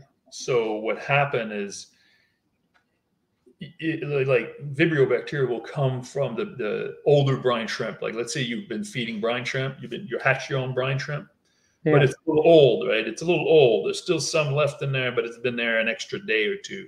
You have bacteria growing in there, and it's Vibrio bacteria. Huh. Most of the time, the fish will do fine with it, right? But if the fish is stressed already and your water's not right, and then you feed that, you may end up with a bacterial problem. and Your fish gets sick, right? And wow. It's pretty virulent, right? It's pretty hard on the fish. So Vibrio is the problem with brine shrimp that's been a little older. So for me, I hatched a brine shrimp, and the minute I'd done with it, even if there's some left over, I clean that up, bleach it, start all over. I don't even let it sit for an extra day trying to get the rest of it. It's not worth it Oh, because of the Oh. chance of getting a vibrio in your bacteria in the fish is is you know it's bad, right? And when it yeah, yeah. happens, it's just like wildfire, you know, and it's going to happen on most of the time is going to be on your baby fish because you're feeding brine shrimp, baby brine, and that's when it's the problem. And it's uh, the little fish are, are not making. And a lot of people lose fish because they feed them older, newly hatched brine shrimp that's been sitting in the jar a little too long. Huh. So, Daphnia. Yeah, Daphnia is pretty clean because if they, they the, the thing I like about Daphnia basically is that uh, if the conditions aren't right, it stops breeding and it dies. So it's not like it's Right. it's pretty the range of which it does health is good water quality. The key to the moina or what we call Daphnia is uh, water quality. So itself, the animal will die if the conditions aren't right. And the conditions to be right have to be really clean water, healthy, plenty of food in the water. And if the water conditions go bad, it just dies. So it's kind of a good indicator to tell you to feed the fish, do you feed the animal or not? right. So, Plant Lady wants to know some good tips for raising Daphnia. Green water, warm, bucket of water on the side of a window. you know how to do that. I'm sure. I'm sure you got a video somewhere, or you got a couple of tips on how to do that, Lou. You bet. You bet. Yeah, that's your that's your expertise. Funny stuff. You remember Doc's Moina culture? Yep. He had that culture, Lord knows how many decades. Oh yeah, you keep rotating it around, keep moving into another tank or whatever, bucket, container. You know, just got to get it the right. You know, get it to know your know your your know yourself, know what you're doing. Right, right, right, right. Nice. Well, we're at seven o'clock. Yeah, I know. I was just looking at the time. I've been there for an hour. Sorry about Yeah. that. I didn't mean to be. I Uh, appreciate it. Yeah, that's wonderful. yeah. Did you Thank tape? you so much. Yeah. Yeah. Oh. Pardon? Did you tape this, or this is, is this is just a live feed and that's it? Well, no, it's taped as well. So Okay. We'll we'll pull we'll pull some uh, some videos off of it and I hope I look okay. I didn't We'll, shave. be, we'll been keep working on I didn't shave. I didn't work. I've been working. I got I'm finished. I'm not done working. I got a bunch of stuff to do and stuff. Well, we'll get you up again in your in your barn. That's fine. Yeah, I got plenty of I got plenty of internet over there. do, Yeah, I'm exactly. right now. I'm putting more tanks up. I'm putting a bunch of big tanks, uh, big 300 gallon tanks. Put a dozen of those in To to- do what? to grow, grow more animals. Grow, not breed, but grow. I need grow. To grow out, huh? Yeah, catfish, angels, tetras, whatever. I can put my hand. Galaxies, you know. What kind of what kind of catfish? Petra. Uh, right now it's mostly Synodontis. I'm, I got a lot of multipunctatus, a lot, a lot of petricolas, and some hybrids. Those are the big ones Yeah. right now. And then uh, I work on other stuff. And then uh, yeah, I don't do plecos right now. Uh, you know, I, I try to find my niche. You know, find stuff that that works. And I do rotation for a few years. I'll do something. I'll put it on the back burner and do something else. I can't do everything. It's not possible. You know, I can only do certain items. You know. The big ones for me is, uh, you know, in terms of volume, shrimp, angels, catfish, those are the big numbers. And then um, I'm trying to get back into cardinals right now. I'm doing, I'm building up stock for galaxies. So I'm saving thousands of young ones for for future breeders. So uh, yeah, things like that, you know. Ryan Oaks is asking about mosquito larvae as fish food. It's it's okay. It's good. It's just a, it's a pain in the ass. That's why I don't do it. Yeah, It's not hard to do. It's not hard to do. It, it also it also they don't occur in a high water quality environment. It's Right. Low water quality. different animal. It's an insect, right? It's an insect, so it's a different thing. And uh, Right. th- my biggest problem with that is not that it's not nutritious. It's really good, right? But it's the the problem is is a like the way to do it. The way I do it is I line up a bunch of buckets uh, outside, you know, and then I put uh, I cut a orange in half and I throw it in there, right? And then so it's orange. I throw an orange in the bucket, in the bottom of the uh, half an orange in the bucket. I'll Oh. cut it in you know in quarters or whatever, but about half an orange into a bucket of water, and then uh, let it acidify, let it spoil, and then I'll start picking up the uh, the boats, right? The mosquito boats, the little little Yeah. uh, egg cases. The egg fit like cases. boats, little black things. So the Yeah. egg cases. So I'll sit there and get a little net, scoop them up the surface, and put those into another bucket. You know, that's also old, and let those guys hatch, and then you get like millions of them hatching, and then you feed it all at once. But my biggest Huh. issue with mosquito is not the feeding, is that wherever I put it in the tanks, if they don't get eaten, they hatch into Right. mosquitoes. So next thing you know, Right. after a week of, of feeding this stuff, then I have hundreds of mosquitoes in the hatchery or whatever because I they didn't all the fish didn't eat it or I put some in the fish that that, that you know that they didn't eat them all right. So and then you're walking around with mosquitoes in the building and it's like annoying. So I don't do that too much, you know. Right. Yeah, it is a downside, no question. Fish could do without it for me. Right, right. Let's see where we are here. A guy, uh, uh, uh, RC Savage said he just got a blackworm culture and they disappeared into the gravel. Is is that normal? Well, yeah, they I don't would- like the I would say that's normal. They don't like light. They're gonna hide from light. They're gonna go Right, right, light. right, Yeah, they don't want to get eaten. They don't- right. That'll where they get eaten exactly. Crickets talking. Somebody talking about crickets. That's a pain in the butt. They're not hard to do either, but the crickets. I mean, the only time I used crickets is was when I was doing. Uh, uh, I had a big tank with uh, with uh, archer fish. Oh, really? Oh, yeah. Do you ever spawn archers? Well, I tried to, and I worked on it, but it's so hard. It's uh, it's. I could get the eggs, but they were never ready, and the Oh. fish had to be a good size, you know, and old, Right. at least three years old. Yeah. and um, it's a brackish water fish. So there's so Oh. the challenge with that fish is that it would it would live in in in freshwater estuarine areas, and the babies the the, the, eggs would drift down into the ocean, and so in order for the eggs to hatch, they'd have to be saltwater Wow. you know, and so it becomes very complicated. It's the same story with um, what's the name of that? Um, Amano shrimp. Amano shrimp. So I bred Amano That's shrimp right. before.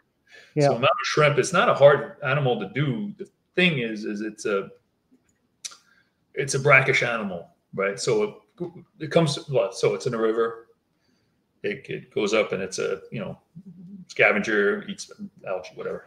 So but the thing is it breed. It'll breed in fresh water, right? But the eggs won't live very long. As soon as they hatch, they live for literally 18 Oh. hours, maybe 20 hours, and then Oh. they die. So the way to do it is that the way, you know, it's like you breed them in cages, right? And then the babies swim in the cage with the shrimp. And then the minute they breed, you take the cage, you lift the babies out of the cage, you know, they're in the cage, and you move the cage into salt water, literally Oh, move them right away. And then they do well. But what happened is it's a pelagic larvae. I don't know if people understand what pelagic means, but it's a swimming larvae. It's not a shrimp yet. It's like it's Right. and it swims around. It's really, really small. And then the transfer into salt water makes it turn it into shrimp. And they within a couple of weeks they'll start settling down to the bottom and turning into shrimp. And those little baby shrimp, they they climb up and they smell the fresh water and they slowly move up to the bottom of the Oh, yeah. ocean right into Oh. this fresh water. Oh. So that's the key right there. You know, that's the problem. Wow. They're not they're not hard to do if you do the technique and you just really work on it. But it's a lot of it's it's a labor intensive. Smart man. amazing. Uh, I'm just looking to see what else is going on here in their chat.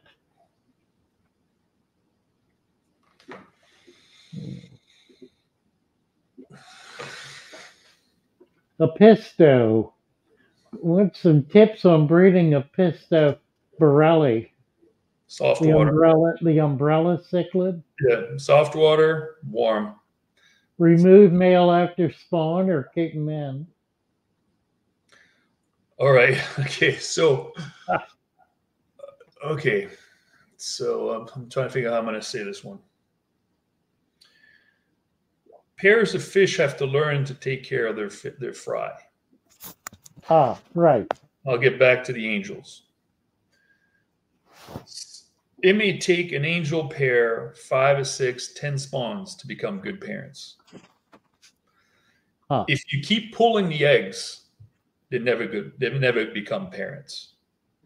And there is a window where these fish learn to become good parents. And when they're young, for some reason, I don't know what it is, they have to learn how to be parents within a certain time frame of their life. Like two or three spawnings. Or maybe more, but what I'm saying within the first year of breeding or two years of Okay. the first Yeah. year of breeding, they become parents. In order for a fish to become parents, you may have to suffer and see many spawns go bad. Many Huh. spawns not go bad, but hatch, disappear, hatch, disappear, hatch, three babies swim around for a while, disappear. Then, you know, then the process goes back and forth, right? Because these two fish, male and female, have to learn to take care of little ones Huh. they don't know how to do that you know they just have the instinct to learn and the instinct to do it but they you know i've seen i'm sure you've seen that you've you've got a pair of fish they breed there's a bunch of babies in Oh, the yeah. tank and then suddenly you decide to move a rock disturb stuff take another fish out come back the next day and the babies are gone. And they ate their, their own fry. They just you know just the way it is right? So uh, so a lot of people will go and get breeders from somebody else. Yeah, you get big fish from the wild. And you're trying to breed them and it's like they're not it's not working right? They're they're breeding but they're not taking care of the young and all the stuff. And a lot of times they just they, they they don't have the right partner they don't have the right you know conditions and all that stuff. So when you got a baby fish that you grew yourself and you're trying to, to to get it to become a good parent you may have to suffer and see many spawns go bad before they become good parents. So it all depends what you want to do. If you want to be a commercial thing then you go out there and you pull the eggs and you hatch them and you say screw it. I'm going to take them out as soon as they breed and hatch them myself and do the work right? So but if you want the joy of seeing a cichlid raise the young and defend it and get their full color and you know this defend their territories they might take more than one spawn to get to see that right so the best way to breed apistos it, it, it, there's two there's two answers it's do you want it to do it because you want fry and just sell them or mm. you want to do it so that you can see the behavior and see their vibrant colors Right, right, Courtship. right. and courtship. What do you want to do? Right. So if you want to do courtship, you may have to figure out a way for it to for them to become good parents and raise their own fry. So which means you may have too much light on there and the fish are too stressed. So they hatch, but then they're too stressed, they eat their fries. So you may have to dim the light. You may have to put more plants. You may have to take some of the fish out if you have a community fish tank. You know, there's a bunch of things that you're going to have to do and try. And that's a trial and error thing. So, and maybe after three spawns, everything's fine, right? And so uh, that's it's a it's a very personal questions in a sense of what do you want to do? That's what it comes Right. down to, right? So, Yeah, and you may you you may find out that that pair is no good. They may never become good parents, and then you you have another pair on the side, and they're good parents, and you don't know why. And it's just well, they've learned it differently. So that's how I look at it. nice. I had um, some triple reds I got. They spawned, and I got a lot of fry. I left them in the tank at 29, about 20, 25 fish in there.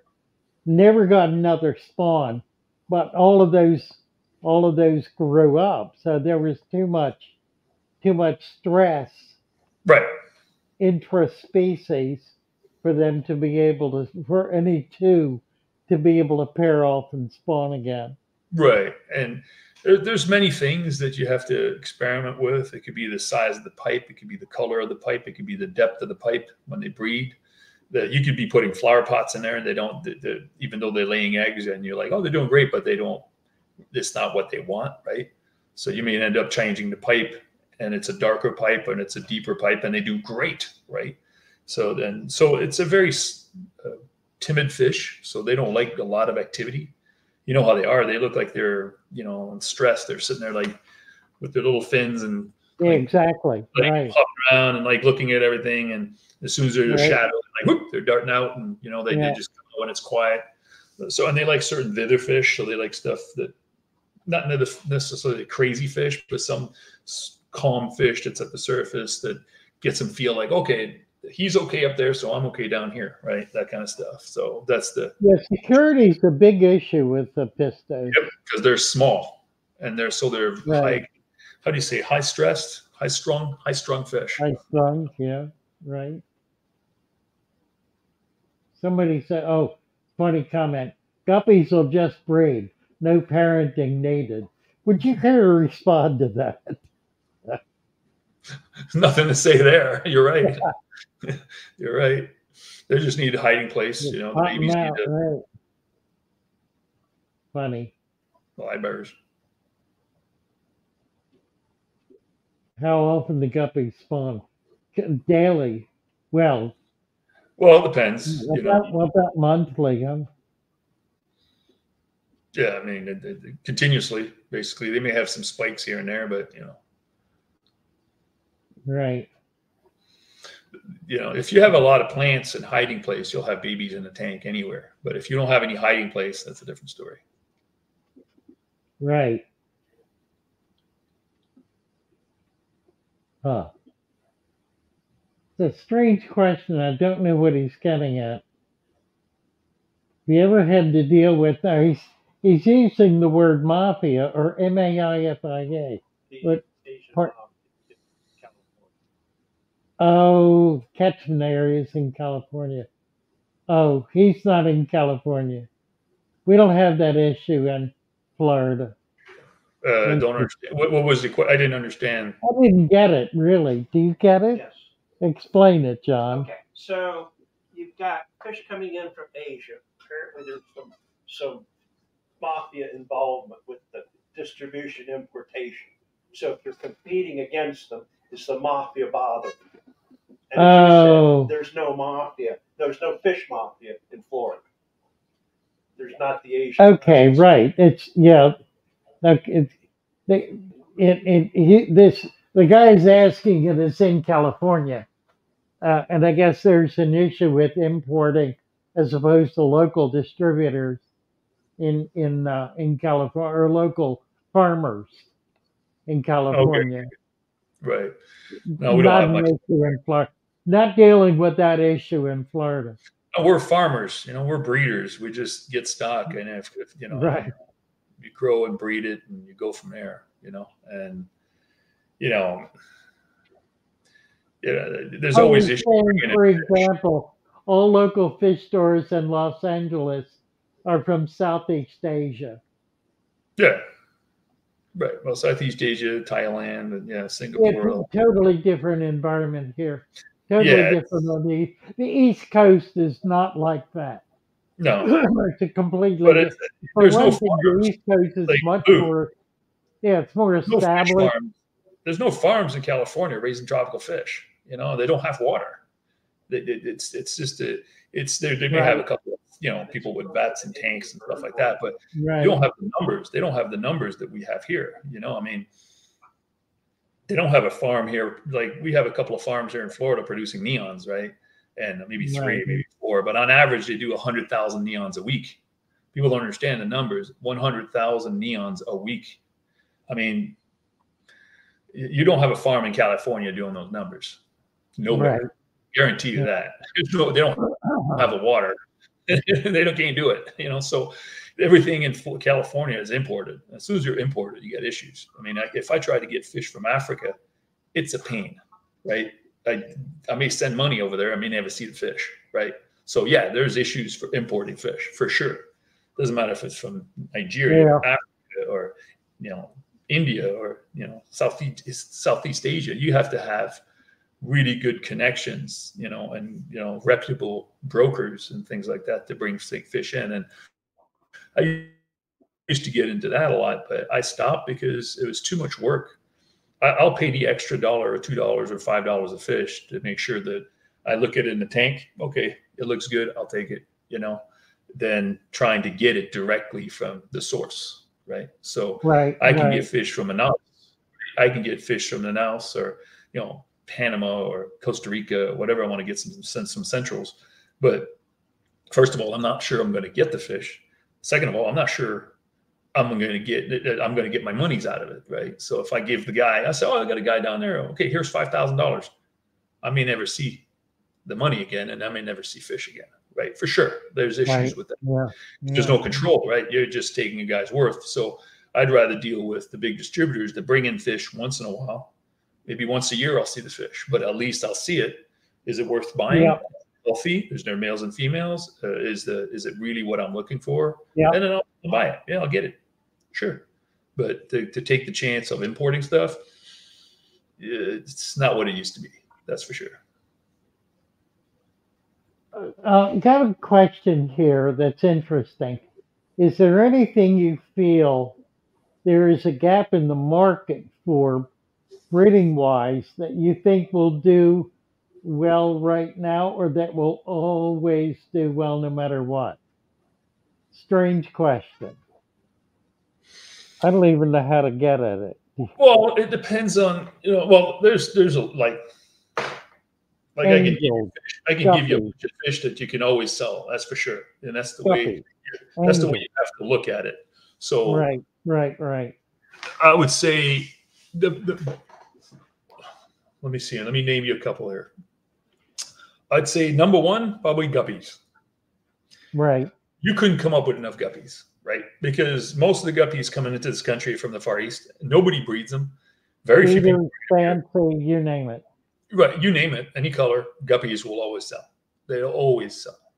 Uh, yeah, okay, you get females and males, but guppies will always sell. You got a good strain of black Moscow, you know, the pigeon reds, uh, whatever color you think, of, lemons and yellows and cobras, and they'll always sell. Always. You, there isn't a fish store in the country that's going to say, "Hey, you got some good-looking guppies? I'm, I don't want them." Every store will take them Yeah. uh, they always sell, right? They're not expensive. Let- Let's not get kidding away, but you know, you could set up a colony of guppies, and let's say you're producing a thousand guppies a month. you can easily make a thousand dollars a month out of a thousand guppies. Right. So, yeah, you're not going to get five bucks a piece, so you're not going to get twenty dollars a piece. Right. And another one is bettas. Yeah. Bettas Right. is it's crazy, crazy numbers, right? So just to give you an idea, bettas, right? So let's say a big distributor here, they bring in about 25,000 bettas a week. Oh, I know. Not 2,500, right? 25,000 to right. 35,000 bettas a week. And they don't have enough. Yeah. So, yeah, okay, they're a couple of bucks. The price went up on them. You know, you get the dragon scales and you get all the oddball stuff and the different finnage and half moons and crown tails and all that kind of stuff. And it, it- it's it's crazy, right? Yeah, some of them aren't great looking, but overall they always sell. And if you're a really maniac on it and you decide to pick a really like a tricolored and really work at it with dragon scales, it doesn't matter if it's a half moon or delta tail or crown tail or whatever it is, they always sell. Yeah, so you know, so on the other side, you could say, well, I want to do zebra plecos. Yeah, yeah, you can do zebra plecos. I played with them, but how many are you going to sell? Right? You're going to go out Right. there, you're going to produce 10, At a, five, at a hundred bucks a pop wholesale. even if that's $150 a pop, right? You're not going to produce them all the time. They're temperamental. You lose a lot of them. They they're they're picky at their food. They're picky at breeding. They, they don't hatch great. uh, Whatever the story is. Yeah, they're 150 bucks, 200 dollars a piece. But you're not going to. You, even if you had a thousand of them, you wouldn't sell a thousand a month. It's not possible. Nobody's got Right. that money, Right. Right. that's it. You, you just, you, yeah, it, it looks good. It's a pipe dream. It looks great, you know. So I used to do a lot of plecos. I did the gold nuggets and I played with zebra plecos and stuff like that. And I got rid of them because there was just no market for that stuff in terms of money. It was just a, the money isn't into like the the turnaround, common fish, swordtails always sell, guppies, bettas, angelfish. Good looking angelfish sell, Yeah. especially blacks, koi, red ones. You know, they, they always sell. Yeah, they don't sell great. Everybody breeds silver angels. Yeah, they're silver. Yeah, okay. But if you start getting some really nice marbles or some nice blues, they'll sell. You know, so you know it depends. You know, it depends. But it, there's a there's a price break, right? So, I mean, to me, guppies, sure. Bettas, sure. You know, so, So why are you not doing bettas? Uh, I, I did for a while. I just don't have the time. I'd rather do something else. Can't do everything. The time because they are time consuming? Not so much. The thing with bettas is they're easy to breed and grow off is easy. You grow them up like anything else in large numbers. You can put thousands of bettas in the big tank and grow them up.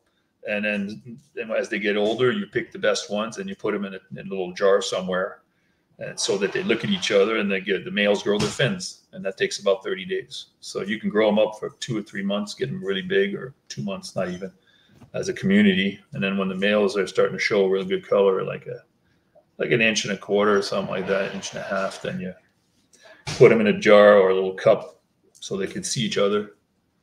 And then they're they display and then they get their fins bigger. As they display, as they grow, they get their fins bigger, so they get the nice big flowing fins from the the you know the fighting between each other.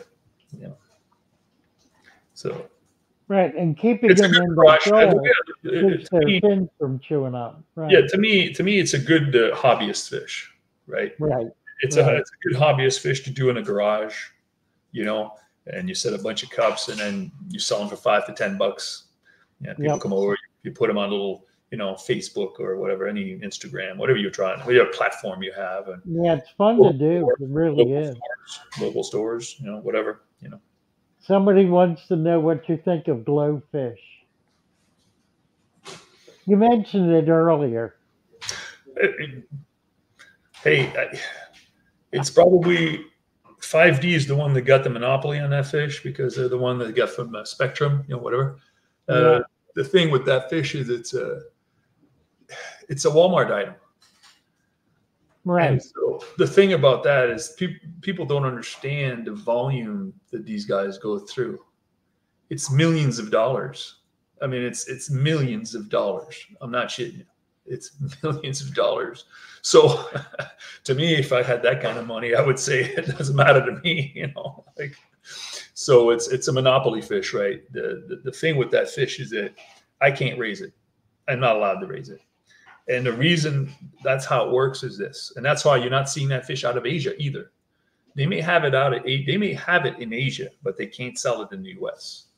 So it's a GMO fish, how you want to look at it. But the main way they did this, and the guy was a genius on that, is that they have the patent on the fish. That's And right. it's not the fish that they have the patent, it's on the process. The process of how to get the gene into the fish. So they patent the process. So no matter what I do, I can't change the process, you know, unless I start my own thing, my own company in genetic work and do a new process. I cannot use their fish because their fish, the process is in their fish. They know how they did it. They they patent the process, so I can't touch that fish. I can buy the, the GloFish at their price and resell it. That I can do, but I cannot breed it on my own and sell it. Right. And they're really, really stingy about that. They they check everybody. Like if if I get on the list to sell that fish, I got to sign a contract. I got to get inspected. I got to get. There's a whole slew of rules, right? And they know how many fish I got, and they know how many got sold, and they know how many. You know what I mean? They check everything? Ah. So then it's a. It is what it is. Yeah, they're genetically changed. They're probably not available in some of your. Right. Let's see. Been going for an hour and a half, dude. Right now, just looking to see if there's another question here. So, so we're down to what, like four guys listening to us? No, actually, you have 136. Oh, really? Okay. We're still okay, I guess. We hold it up pretty well, yeah. Just about two more Julie, uh, julii cories and three pygmy. I was doing Corey, uh, you know, a lot of interest in cories. Yeah, Corey's not hard to do. It's just got to get them the right water, and they breed all the time. Uh, it, it, it depends on. It's it, it's it's basically it, again. It comes down to do you want to be commercially that stuff, or you want to do it for for fun, right? So, the, the, like I breed cories. Like I, I did a lot of pygmies a few years ago, just for fun, because uh, I like the fish. They're like, like microscopic, you know, like Yeah, yeah. and uh, the way I did those, I did really well with those, is in cages. So I'd have a big cage with a screen, like a fish tank, fish tank, and then I put a cage in the tank, and the breeders in there with little plants and things like that. And what would happen is that they would breed in there all the time, but the babies, as soon as they would hatch, they would fall through the screen and lay at the bottom of the tank. So I would uh, maybe leave the fish in there for let them breed for about two weeks, maybe. And then every two weeks, I would take the cage and move it to the next tank over, and then let the babies grow in the tank, you know. And I would do hundreds, hundreds like that. You know. Huh. What'd you feed the babies? Uh, the, a couple things. So I'm really, I'm a big fan of banana peels. That's just uh, for me. So if you guys, what? banana, Bananas? banana peels, the peel. Really? Right. Yeah. So what I do is, uh, you guys are familiar with paramecium and stuff like that. Sure. So I do paramecium for rams and you know pistos and, and cories and and not cories but uh, like uh, cardinal tetras and you know things like that. So what I do and conloaches too. So what I do is I'll uh, when there's babies hatching in the tank, I'll put strips of banana peels in the bottom of the tank. Well, they'll float first, and they sink and they turn black, but they cover themselves with microfauna. You know. I don't know if you understand what microfauna is. It's a Yeah, microorganism yeah. And they live on that. And the We're, fish, we're big on microfauna around here. right? And they live off of that, right? And it's high fiber. It's got protein in there. It's got all kinds. So basically, the baby fish will feed off of that. That it's baby catfish, baby cories, baby cardinals, and the peel gets black, right? So as it go, and fish, baby fish are attracted to black. because they feel safe. It's like a shadow, right? Okay. Like uh, like if I put a peel in there and I put a zucchini in there, it gets the same result in terms of microfauna, but the, Right. the, but the zucchini is white and the banana peel is black. The Huh. fish will go on the black. They Huh. won't go on the white. Fascinating. That's a good one. That's a good one. I do that all the time. Huh. And then you go on the brine shrimp and everything else after that. Right, right.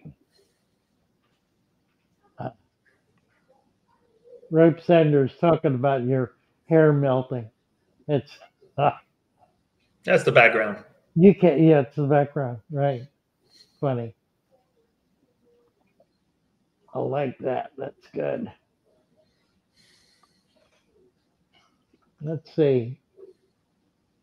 Oh, do you age the banana peel first, or just put them in straight? Put them in straight, and then over to, over a week or so, four or five days, it starts sinking to the bottom. Somebody said the banana peels work for iridescent sharks. Yep. That'll work. Iridescent sharks. Mhm. Now that's a fish that has to be really big to spawn, I would assume. Yeah, I got my friend uh, John here at the Golden Pond raises them. They're what, like the three, four foot long? His breeders are three, yeah, maybe four foot long, three and a half. Big fish. Big fish. Yeah, Very cool fish. yeah. It's a it's a Pangasius cat, you know. It's Yeah, a big, massive catfish. Probably really good to eat, I would bet. Yep. Sure. Heavy, heavy bodied. Mm-hmm. Can you feed pineapple? Acidic stuff is not great, you know, and it's got some Ooh, kind acidic. Yeah, Uh, right, right. Yeah. It's like it's like lemons, oranges. I don't know much about it. The only time I use oranges, like I say, was when I do mosquito larvae. Right. Well, banana peels work for guppies.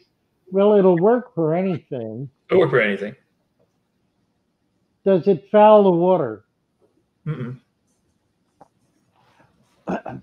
If there's a filtration in the tank, it won't foul the water. But if it's in a if in the if it's in a bucket and you're trying to get paramecium, yeah, it'll turn white and then you'll have paramecium. But and then you'll have to just decant the water out of it and feed that to your fish. Right, right. So you could get a paramecium culture that would be too dense to maintain itself. Right, and after that, Yeah. you spoil it and you get rid of it, start another one. That'll spoil, yeah, right. Oh. Nice. Well, we got a couple of uh let's see, chat. I don't know if I can find this. Go to the bottom here. This this chat is miles long. I'll never get to the end of it. We can do them another day too, you know. Right. We're Broccoli tree. So any kind of uh, vegetable matter is not going to foul a tank. Is that right? Unless it's in Most of them, extraordinary volume. no. Fouling water is going to have to be oily and fishy, or it's going to have to be meat, right? Right, right. Like excess food, excess frozen food, you know, Right, right, exactly. dead fish. But rotten, but plant leaves dying is not going to foul the water. Or any, or if you put lettuce in there, any kind of vegetable matter is mm-hmm. not going to foul the water. It breaks down and gets consumed by microfauna. Right. And bacteria and fungus and whatever. Right. I was trying to get this. Somebody made a ten dollar donation here, and I wanted to try to get it up, and I can't. I can't get to the end of the Right. end I'm gonna have to go soon. Yeah, Look, I got to get going. Well, to Yeah, answer one more here. got it. Chad Garden in LA. Louisiana or is it LA, California? Uh, I guess it's California.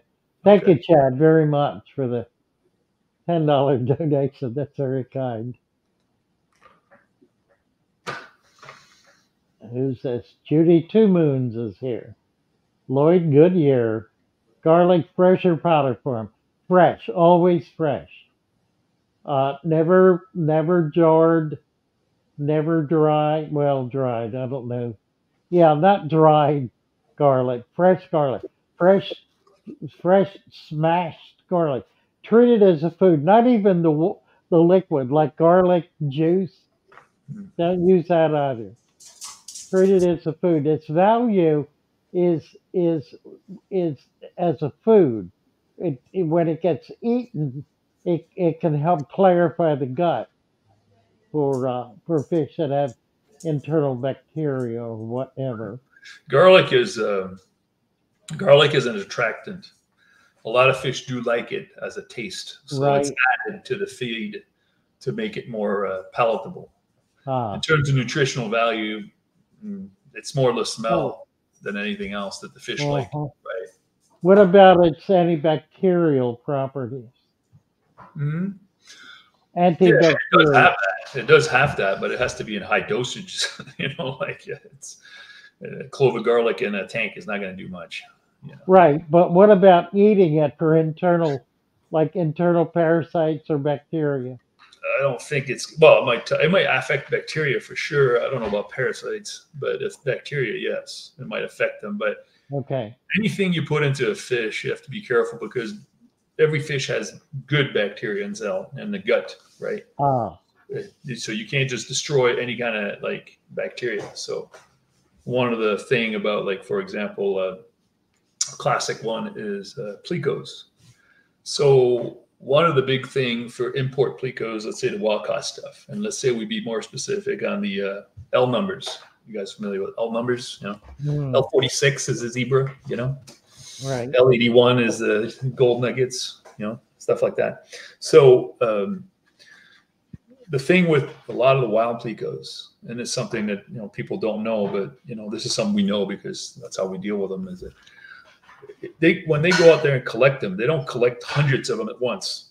They get like two here, four here. They don't get anything for a week. They get a few more. They get a few Yeah. more, and they collect enough of them to make a shipment worth, right? Sometimes these fish in there haven't eaten, and I'm not kidding you, for over a month. They haven't eaten anything. They're skinny. They're they're just haven't eaten. Their, their body still looks good, you know. What you'll notice is the eye sunken in. yeah, So whenever you're going with it. the eye uh, sunken in. So when you get these plecos in, you look at them, they got the eye sunken in. So that means they've been really starved. And they may be full body, but then when you roll them over, they're all concave. You know, they got hollow guts. The worst thing you can do when you get those fish in is feed them. It's the worst thing you can do because they have no bacteria in their gut. And the first thing that'll happen is they will eat like crazy. And then the food inside their, butt, their belly will rot and they will die. And it happens all the time. So the trick that we had, and I worked on it, it was very easy. It's, it's kind of crazy, but it, it worked. Is before I get the fish in, I would get these big plecos I have around, those big regular plecos, you know. The big wild plecos. Yeah, the wild plecos, whatever. I gotta love them, and I put them in those tanks that those plecos are gonna go in. The, the wild ones are gonna go in, and I put these big plecos in there, and I let them let go in there. I put I leave them in there for like a week with the sponge filter and everything, and they're gonna crap the tank out. They're gonna make a nice bacteria film in there, and then I move them out, and then I put the wild plecos in there. And the wild plecos will go in there, and they'll suck up the bottom and suck up all that bacteria. I won't feed them, and I'm not going to feed them for a week at least, and let them maybe five days, and I won't feed them. I usually do a week. I won't feed them for a week, but they'll live in the tank with bacteria that's been from the gut of another pleco. And what happened is that suddenly those fish are coming back alive, right? And then a week later, then I start feeding them, and then I don't have any losses. Nobody dies. Ah. So I'm re putting new bacterial fauna in there. Right.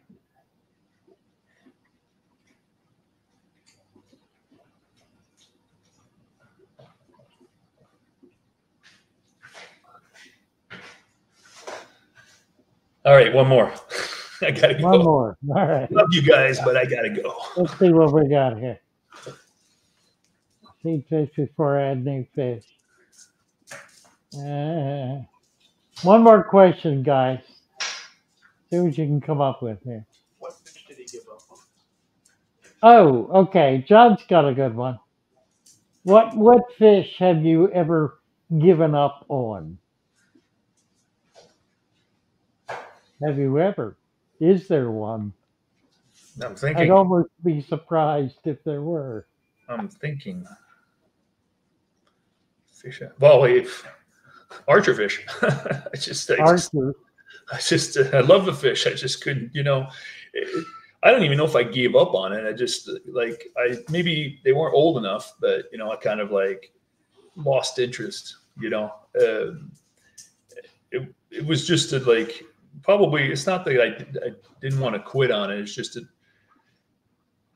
I think the biggest thing is research sometimes doesn't make any money, right?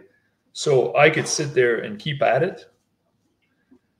And at one point, I got to say, well, I got other things I need to do, right? You know, I got to make a living somewhere. I can't. There's certain amount of my time that's not going to be Right. be well spent. It's not like if I still had them and you know I had you know a bit of money saved away and stuff, I'd, I'd still play with them and figure it out. I would figure it out. You know, I would try. It might take me ten years or whatever, but the, the, the, but there's there's a few fish like that. You know, there's certain catfish. You know, and there's certain like like chart like the archer fish. Well.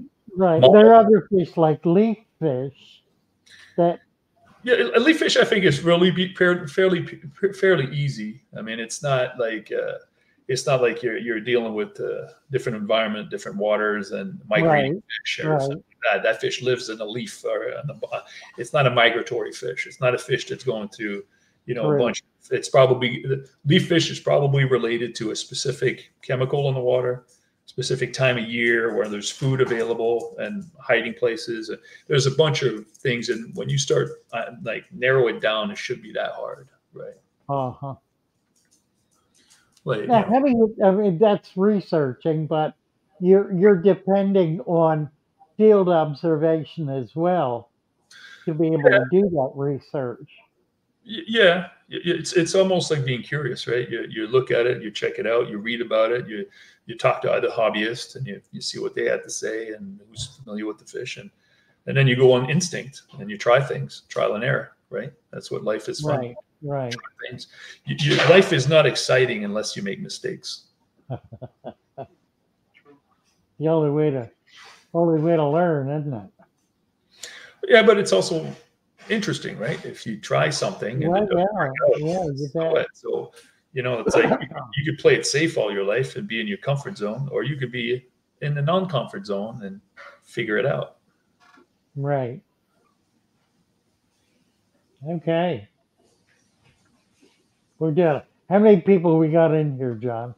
130. One thirty. We've been right at that mark the whole time. Everybody. Oh, really? Well, that's good. make a huge On thank edge of. Yeah, right. Ah, very good. Thank you, Andre. Thank you, Andre. Well, you're welcome. Nice to have you guys uh, invite me over. Hopefully, I didn't get you guys too boring. We well. I think everybody was real excited to have you. Been getting a lot of very positive. I should I should read this stuff to you, but it would just embarrass you. Damn, I'm, good. I'm good. I'm good. I just look, look, it's it's very simple for me. I I I I not a big, you know, I try to do a bit of YouTube video. I got one I'm gonna do one today again. And but it- it's uh you know, I like to do my stuff. I don't mind sharing. Sharing is not a problem, but I don't I'm not a big uh, I mean, I'm I'm I'm 58 years old, you know, I haven't I'm not in the YouTube thing and I'm not in, I do a bit of Instagram and stuff, but it's not my thing. You're doing more YouTube stuff than I've ever even think about. you Yeah, know? yeah. So I, I like to spend time in the hatchery. I, mean, I would like to do other stuff too. You know, I, I, train basketball players and a lot of guys in the G leagues and stuff like that too. So I, I do other things too. And uh, You're also a stargazer. Yeah, I got a telescope outside. Yeah, I like fishing. I don't eat a lot of fish though, but I like the fishing part. Don't you? I like diving. What a good Uh, you know, I mean, I haven't traveled a lot because I'm always on the hatchery. That's the big thing is when you have livestock, it's it's hard to just leave, you know. And this year is a different year because I've, I've I'm a little off my off my comfort chair because my kids finally left. So I got all my kids out of the house. So uh, which is good, you know, which is good. It's just, but it's kind of like lonely. I, I'm going to read you a couple of these. Thanks for the show. Um, thanks, Bioaquatics. Thanks, Andre. Really enjoyed it. Thanks for the show. Bagpipes for our say. It's been a great live stream. Wife loves pure white mollies. Thank you for all the info. Hope you come back again. One of the best streams. Thank you. Great video. Uh, may the force be with you. Yeah. Uh, I loved it. Wasn't boring at all. Great stream as always. Excellent stream. And on and on and on. right. Awesome, interesting, great. Come back for another episode. Yeah, just let me know. And if you have a, if you want to be more on a specific topic or something, you could probably get like a That little, would be fun to do. Yeah. like a not a scenario, but like a like little bullet points or something, and we can just go down the list. Yeah, I Uh, should I should tell everyone. I used whenever I needed a speaker at at, at our Venice club meetings. Um, I and was having trouble getting anyone. I would get I would call Andre up, and he would come over. No agenda, no nothing. Stand up in front and throw questions at him, and it would be the most amazing meeting all the time, every time. Every time. It was just throw- remarkable. I would throw some pictures there, right? I'd have some pictures or something, a little slideshow you or something. yeah, that's right. I mean, whatever I got lying around, you know, I got Yeah. lots of film and lots of pictures. I just don't have anybody to sort them. You so- did bring exactly. I mean, I got yeah, you did bring pictures so much. That's I got so much stuff, and Yeah. from, from clown loach breeding to cardinal breeding to friggin' zebra ble- I got so much stuff on video. I just don't have, you know, it's just, you know, I got hard drives full of this stuff, and I just, I do, I go through a little bit of it, but it's, it's like I went through some stuff today because I'm putting a little video together for YouTube. I try to do a little video out every Sunday for a bit of marketing, trying to get my site going a little bit more, and. Uh, you know, I, I kind of dedicate, you know, one Sunday, like once a week Sunday, I put one video out. So I, I, I go through the, the computer and I put a bunch of cards in there and I look around and then I go, okay, I'll do a video with that, you know, or then I just put it, sit there for two hours, get a bunch of cuts and slap something together for two minutes or whatever I need to do and then just do something. Uh, yeah, like I say, I, I, I'm learning this stuff, you know, I'm learning to do the YouTube stuff and I'm learning to, to be more marketing oriented on the web, but it, it's just doesn't come easy for me because I get scatterbrained and uh, you know I don't have a plan or like a, what am I doing, right? You know, Right, right. so uh, Um, somebody was asking about your link, bioaquatics.com, or go to fatherfish.fish and you'll you'll find the link there. right, and I got a bioaquatics YouTube channel, and then uh, it's all the same, and then uh, I got a Facebook page too, bioaquatics, all that stuff. I got Instagram, bioaquatics, you know, same thing, and uh, Right, right. you, you got some nice pictures and videos on there, you know, and uh, I try to figure stuff out. We'll do a couple of videos on this. uh, I'm sure I'll get my editor working on it and see if we can pull a few things out. Maybe some uh, some shorts would be good because you've covered a number of topics that we could do as as yeah, I don't, short. know if I, I don't know if I look great out there. I'm just like, you know, I'm working all day. So, uh, Well, he he usually will dress it up with pictures of fish or something oh yeah, yeah, right, right, right, right, make right. it effective. Yeah, yeah, yeah, yeah. All right, we are we are at the witching hour. We've been here two hours. Thank you, Andre. Love you, Andre. Thank you so much. I'm glad you're doing all this stuff. It's awesome. Good for you. Both. Well, guys, thanks for popping in and being part of our our uh, uh, our show this evening. Um, make sure to check out some videos. Get over to the store. Check out the Andres Bioaquatics. You can buy from him. He does ship out. Yeah. And and feel nice free to. Uh, what I was going to say is, uh, you know, I, I don't answer the phone because I'm too busy, but I, I don't have problem answering emails. So if you have questions or you're looking for something or you have something you want to ask, I'd be gladly gladly answer you back. You know, so if you email me through the site, it's not a problem. I'll get to you. Might might be a day or two, but I'll get to you. Wonderful. Thanks, Andre. You're welcome, Lou. It's always good to see you. Hang in there a minute.